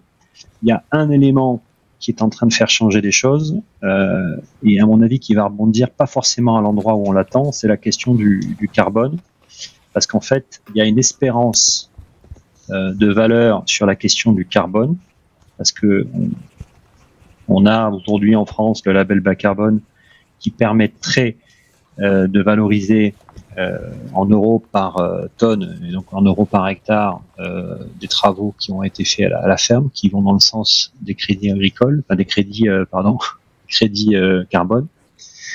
Ça peut arriver au crédit agricole, mais ça c'est un autre sujet. non, la question en fait c'est pourquoi ça va changer les choses? c'est parce qu'en fait on a dans cette équation compliquée de création de valeur, il y a un paramètre en plus sur la question du, carbone. Euh, il y a beaucoup d'espérance, je l'ai dit, la réalité en fait euh, du, revenu supplémentaire lié à, ces crédits carbone, elle est peut-être pas si importante que ce qu'on croit. Donc euh, là, je vais pas citer de chiffres parce que c'est des sujets assez sensibles et il faut bien vérifier et revérifier les éléments. Ça devrait sortir prochainement qu'est-ce que ça impacte en fait? Euh, Nous, notre conviction par rapport à ça, c'est qu'il faut revoir la notion de contrat. C'est-à-dire que finalement, euh, le, le, premium sur un contrat de filière, euh, le crédit carbone euh, qui va faire l'objet d'un contrat, euh, le contrat de gestion des données, en fait, il faut, il faut revoir finalement l'intégralité du contrat qui lie euh, un, un, agriculteur avec sa filière, avec des paramètres, un paramètre qualité du produit, un paramètre certification environnementale, le paramètre carbone, et essayer d'harmoniser en fait ces éléments-là pour rediscuter finalement de la valeur que l'on que l'on apporte. Euh, pour le dire autrement, euh, on ne va pas couver des poches de valeur, une espèce d'Eldorado, une boîte magique dans laquelle on va dire ah ben, le carbone, ça va financer la transition agricole. Non, ça va contribuer, ça va accélérer et il faut le prendre intelligemment. Euh, pour vous donner un exemple, et je pense qu'il faut avoir beaucoup d'humilité par rapport à ces sujets. Euh, a déposé euh, en janvier un, projet européen euh, Farm to Fork dans le cadre du Green Deal. Euh, c'est le projet qui s'appelle Carbon Co. On a un comité scientifique avec une douzaine de chercheurs, des économistes, chercheurs en économie, chercheurs en gestion, chercheurs en sociologie, pour la aborder au niveau en France et au niveau européen, pour aborder ces questions. Et en fait, c'est des questions de recherche. C'est-à-dire que comment revoir la nature du contrat, comment intégrer ces éléments-là. Euh, et je pense que la, la, le caractère économique, euh, la création de valeur économique, il ne s'agit pas de dire bah il y a qu'à euh, payer la baguette 0,95 et tout est réglé. Ça marchera pas. Donc, il faut être euh, humble, réaliste, et on est on est en train de travailler sur. Ces, quand j'ai dit on, hein, c'est pas que nous. Hein, et on est dans un moment où la construction de valeur, elle va se remettre autour du contrat et donc dans la relation d'une filière avec cette valeur carbone cette espérance de valeur qui sera qui sera pas la panacée, mais qui sera un catalyseur. Mais il faut avoir beaucoup d'intelligence et dans des systèmes assez ouverts pour pouvoir recréer finalement la nature du contrat. C'est un peu compliqué dit comme ça, mais c'est des sujets, euh, on pourra être amené à en reparler. Ok, merci euh, Frédéric pour cette intervention. C'est clair que aujourd'hui l'espérance de valeur euh, par rapport au, carbone, stockage carbone en particulier, hein, par rapport aux, solutions que propose l'agriculture euh, face au changement climatique, elle, est au cœur des enjeux et elle est travaillée par de plus en plus d'acteurs économiques et évidemment pas seulement au niveau français mais aussi au niveau européen. Et je voulais qu'on passe à la, discussion peut-être au, niveau européen aussi puisque ça faisait l'objet de notre troisième proposition de cette note. Euh, il nous a semblé, en fait, en, en la préparant, que ces enjeux étant, euh, étant plus que nationaux, mais allant bien au-delà, euh, la France a un réel, euh, un, réel rôle à jouer par rapport au, en, en, termes de force de proposition finalement, en tant qu'acteur essentiel de, de, agricole et agroalimentaire au niveau européen. Et on, on voit qu'il y a un, un, certain nombre d'acteurs qui se mobilisent. une partie se trouve aujourd'hui autour de cette table pour en fait construire cette ces, nouveaux écosystèmes de, traçabilité augmentée au service de tous les acteurs finalement, puisque la création de, de valeur souhaitée, elle est partout. Sébastien, je voulais te repasser la parole par rapport à cette dimension européenne, avec l'implication d'Agdata Hub dans Gaia X en particulier. Est-ce que tu peux nous en dire quelques mots?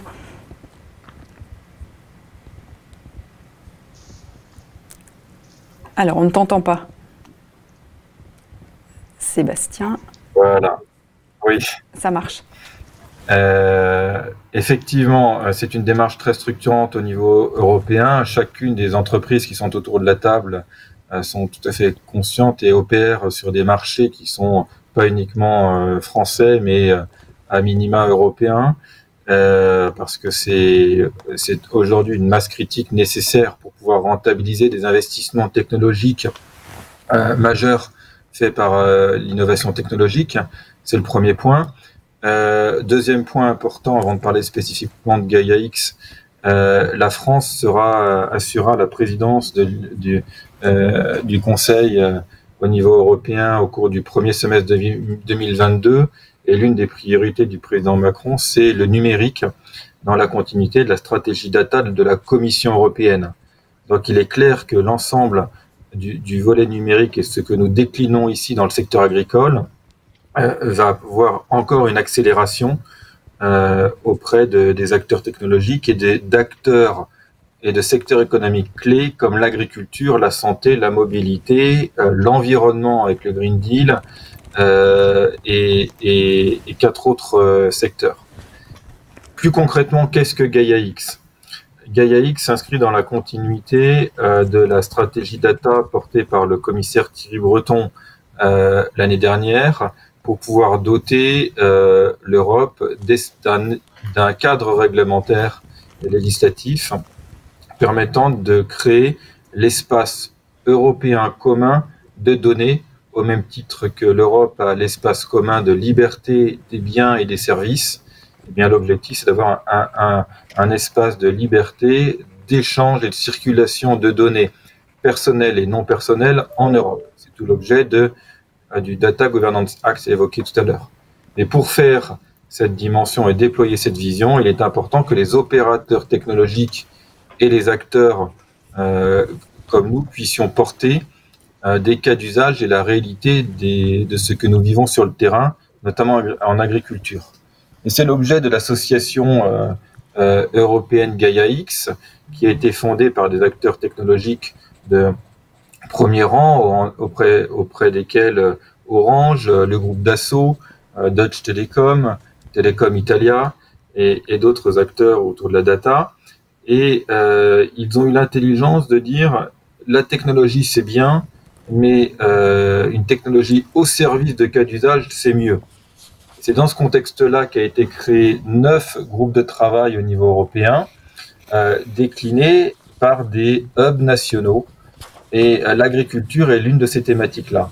Et c'est à ce titre-là que euh, le ministère de l'économie, au travers de la direction générale de l'entreprise, la DGE, a initié un groupe de travail agriculture au sein du hub France Gaia X, pour pouvoir justement faire remonter tout ce que nous vivons, tout ce que nous avons dit lors des débats, euh, et de permettre eh bien, de mutualiser au niveau français et en connexion avec nos autres collègues allemands, espagnols, italiens, néerlandais et, euh, et belges et, et d'autres, eh bien, de voir ce que nous faisons de bien les uns des autres, comment faire en sorte d'interconnecter tout cela euh, avec des, des, standards technologiques ou de data, d'où l'importance d'acteurs comme GS1, et également de sécuriser au travers d'une blockchain souveraine européenne et d'une identité euh, européenne et numérique euh, l'interconnexion des plateformes, d'où le travail avec aussi Orange Business Service. Voilà les enjeux de Gaia X et euh, ce qu'on peut faire ensemble. C'est du soft power, hein, très clairement entre acteurs français, allemands, et, il est important que chacun d'entre nous puissions contribuer euh, pour apporter cette vision européenne de la data.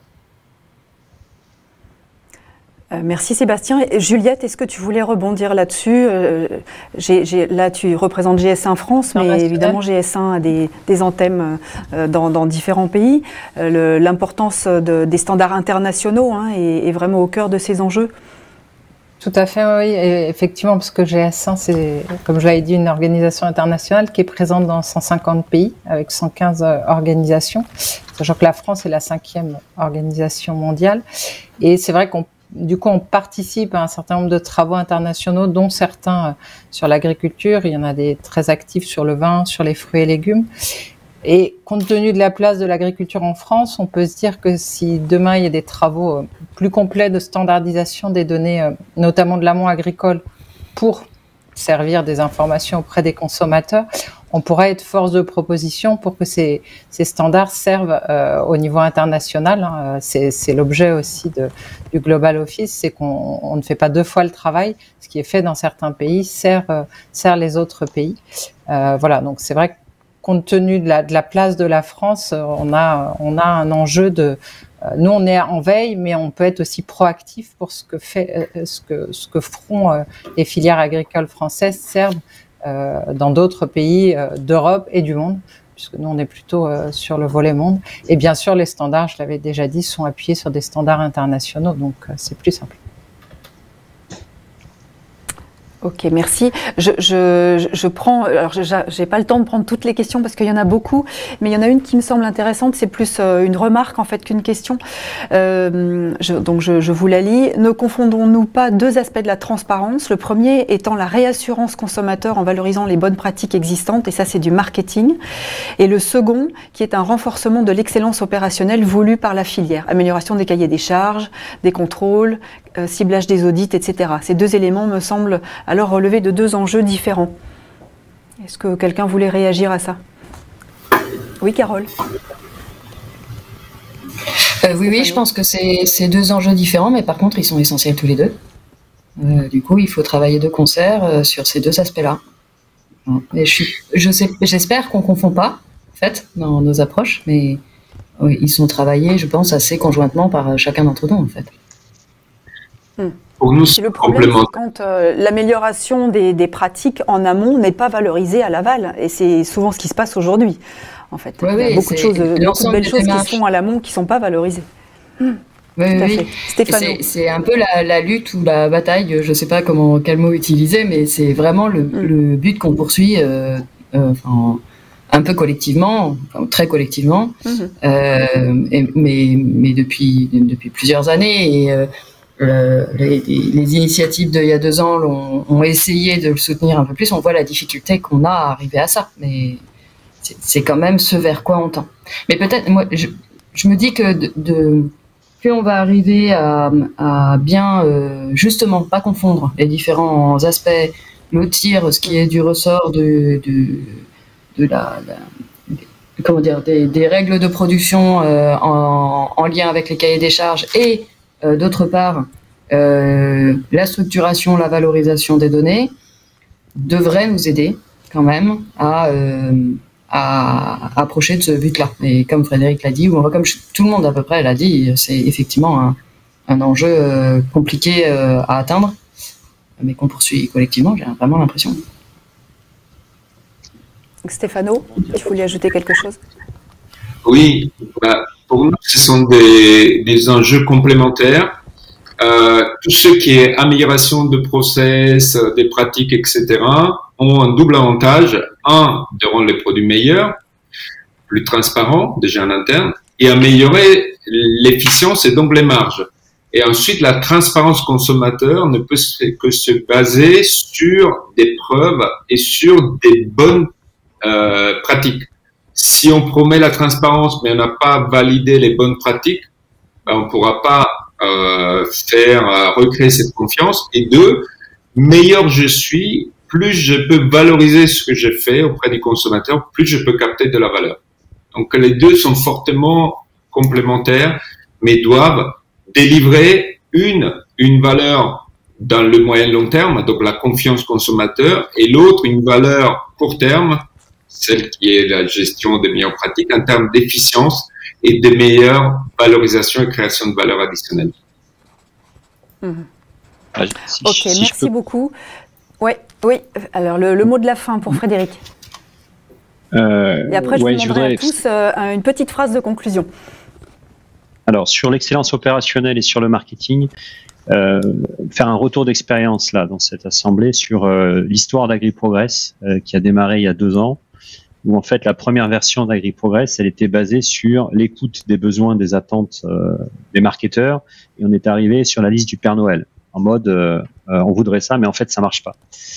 Euh, donc à un moment donné, on a été sur cet extrême-là et on en est revenu. Sur la deuxième version d'AgriProgress qui est arrivée sur un produit, on est parti en fait du, de ce qui était faisable au niveau d'agriculteur et notamment HVE. HVE, c'est un, un bon outil parce que c'est un, ça se déploie aujourd'hui, les, les, ça s'est déployé dans pas mal de filières, et c'est un bon support. Et on s'est appuyé sur ce support-là pour faciliter, et c'est pour ça que l'excellence opérationnelle autour d'AGE, ça permet en fait d'exposer des informations qui sont très utiles. Et à un moment donné, euh, c'est complémentaire. Nous, on a vécu un peu les, les deux, et aujourd'hui, on, on, est sur cette euh, euh mise en sur finalement euh, faire du marketing sur la base de données autour d'HVE des gaz à effet de serre, qui sont des données que, qui sont déjà collectées et qui fonctionnent chez l'agriculteur. Donc, euh, c'est le bon chemin. Ok, merci beaucoup. Euh, bon, il on arrive au, terme de, de l'agri-débat. Euh, moi, ce que je retiens, c'est euh, évidemment la, la, création de valeur, la confiance, l'importance du contrat et du droit. Comment équilibrer partage et protection, euh, le besoin de transparence d'information et de formation, peut-être d'acculturation, euh, le, marketing de la preuve, hein, pour, reprendre cette expression euh, euh, de Stéphano, l'espérance de valeur, en particulier avec le, carbone, l'espace commun des, données, tous ces, tous ces mots-clés, en fait, sont ceux que je retiens de, nos échanges. Je vais demander à chacun une petite phrase si vous souhaitiez que les participants à, cet agri-débat retiennent une chose, ce serait quoi? Marcel Bon, bah, je vais prendre la parole. Euh, D'abord, merci pour ces échanges euh, fort intéressants. Moi, j'ai retenu quatre points. Alors, il y a un peu redondance avec euh, ce que tu as fait, Marie-Cécile. Pour moi, c'est d'abord consentement et échange de données. Et avec tout ce que ça décline, et ça, c'est extrêmement important à mes yeux. Le deuxième point est progrès et valorisation pour l'agriculture et l'agriculteur. Le troisième, qu'on n'a pas, qu'on a frôlé, mais qu'on n'a pas vraiment abordé, c'est dommage, c'est éthique et restitution aux consommateurs. Parce que mm. pour moi, là, il y, a un vrai problème d'éthique. Et le, quatrième dont on a parlé, et ça qui est extrêmement important, ça sera euh, l'interconnexion et l'harmonisation au niveau international, ou même euh, harmonisation au niveau des différents acteurs. Voilà ce que j'ai retenu de, de, cet agri-débat de ce matin. Merci beaucoup Marcel.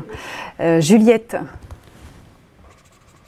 euh, bah, moi, j'ai retenu euh, un certain nombre d'enjeux, notamment euh, pour l'amont agricole, pour mieux valoriser leurs pratiques, pas multiplier les saisies, ressaisies, avoir la maîtrise sur mm. sur les données qui sont utilisées par qui, pendant combien de temps.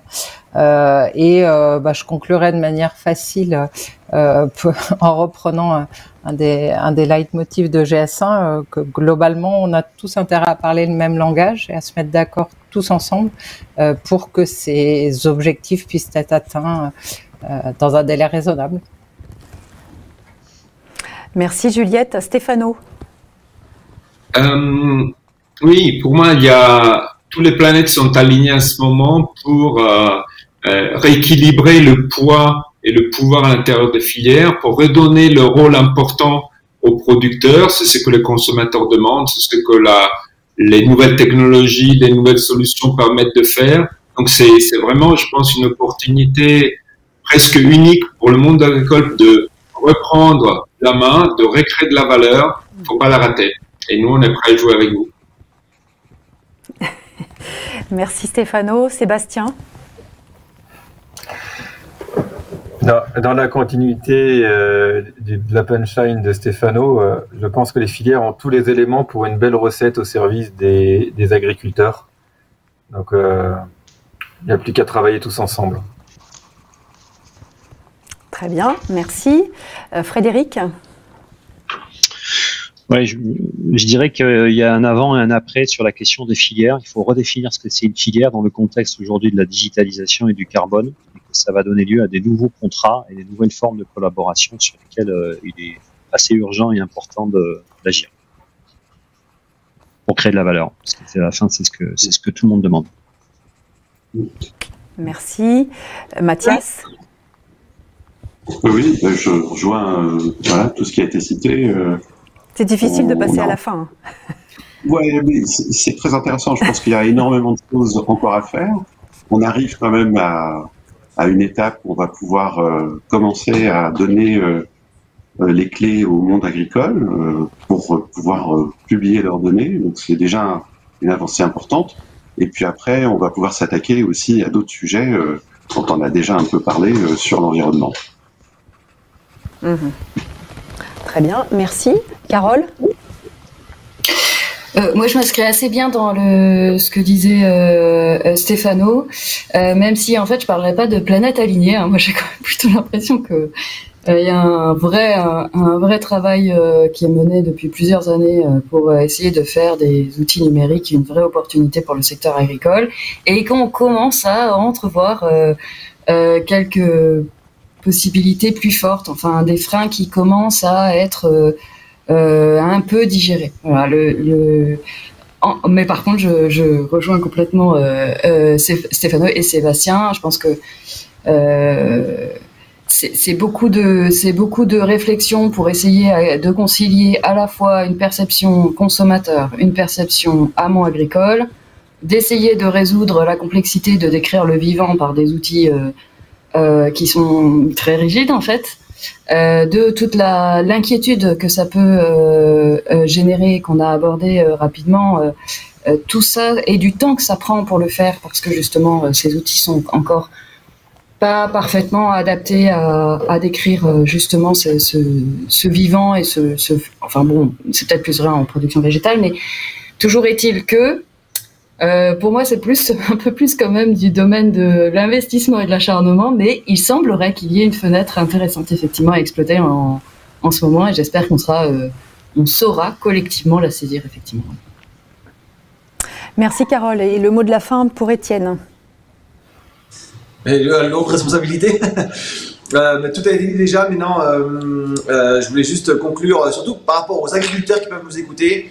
Euh, prenons notre place dans ces échanges-là, euh, travaillons ensemble et puis euh, surtout voilà, continuer d'évoluer dans, dans ces échanges de données, dans cette valeur, dans cette propriété de données pour qu'on ait vraiment, nous agriculteurs, notre place dans tous ces enjeux-là en fait. Ok, merci beaucoup, euh, merci beaucoup Étienne, merci à tous. Un grand merci euh, à tous les intervenants, un grand merci aussi à, tous les participants à cet agri-débat qui nous ont posé beaucoup de questions. On n'a pas eu le temps de toutes les prendre, mais on les garde en réserve et on, y répondra dans, les jours qui viennent. Euh, merci beaucoup à notre partenaire Les Clés de l'Agriculture pour le support technique. je crois que tout s'est vraiment bien passé, donc merci beaucoup à eux. et puis je vous dis rendez-vous en fait le 10 juin prochain où euh, Agridé organise une conférence débat qui sera intitulée Consommateurs exigeants, recherche producteurs engagés. Donc prenez date, ce sera le 10 juin prochain. Merci à tous et à très bientôt. Au revoir.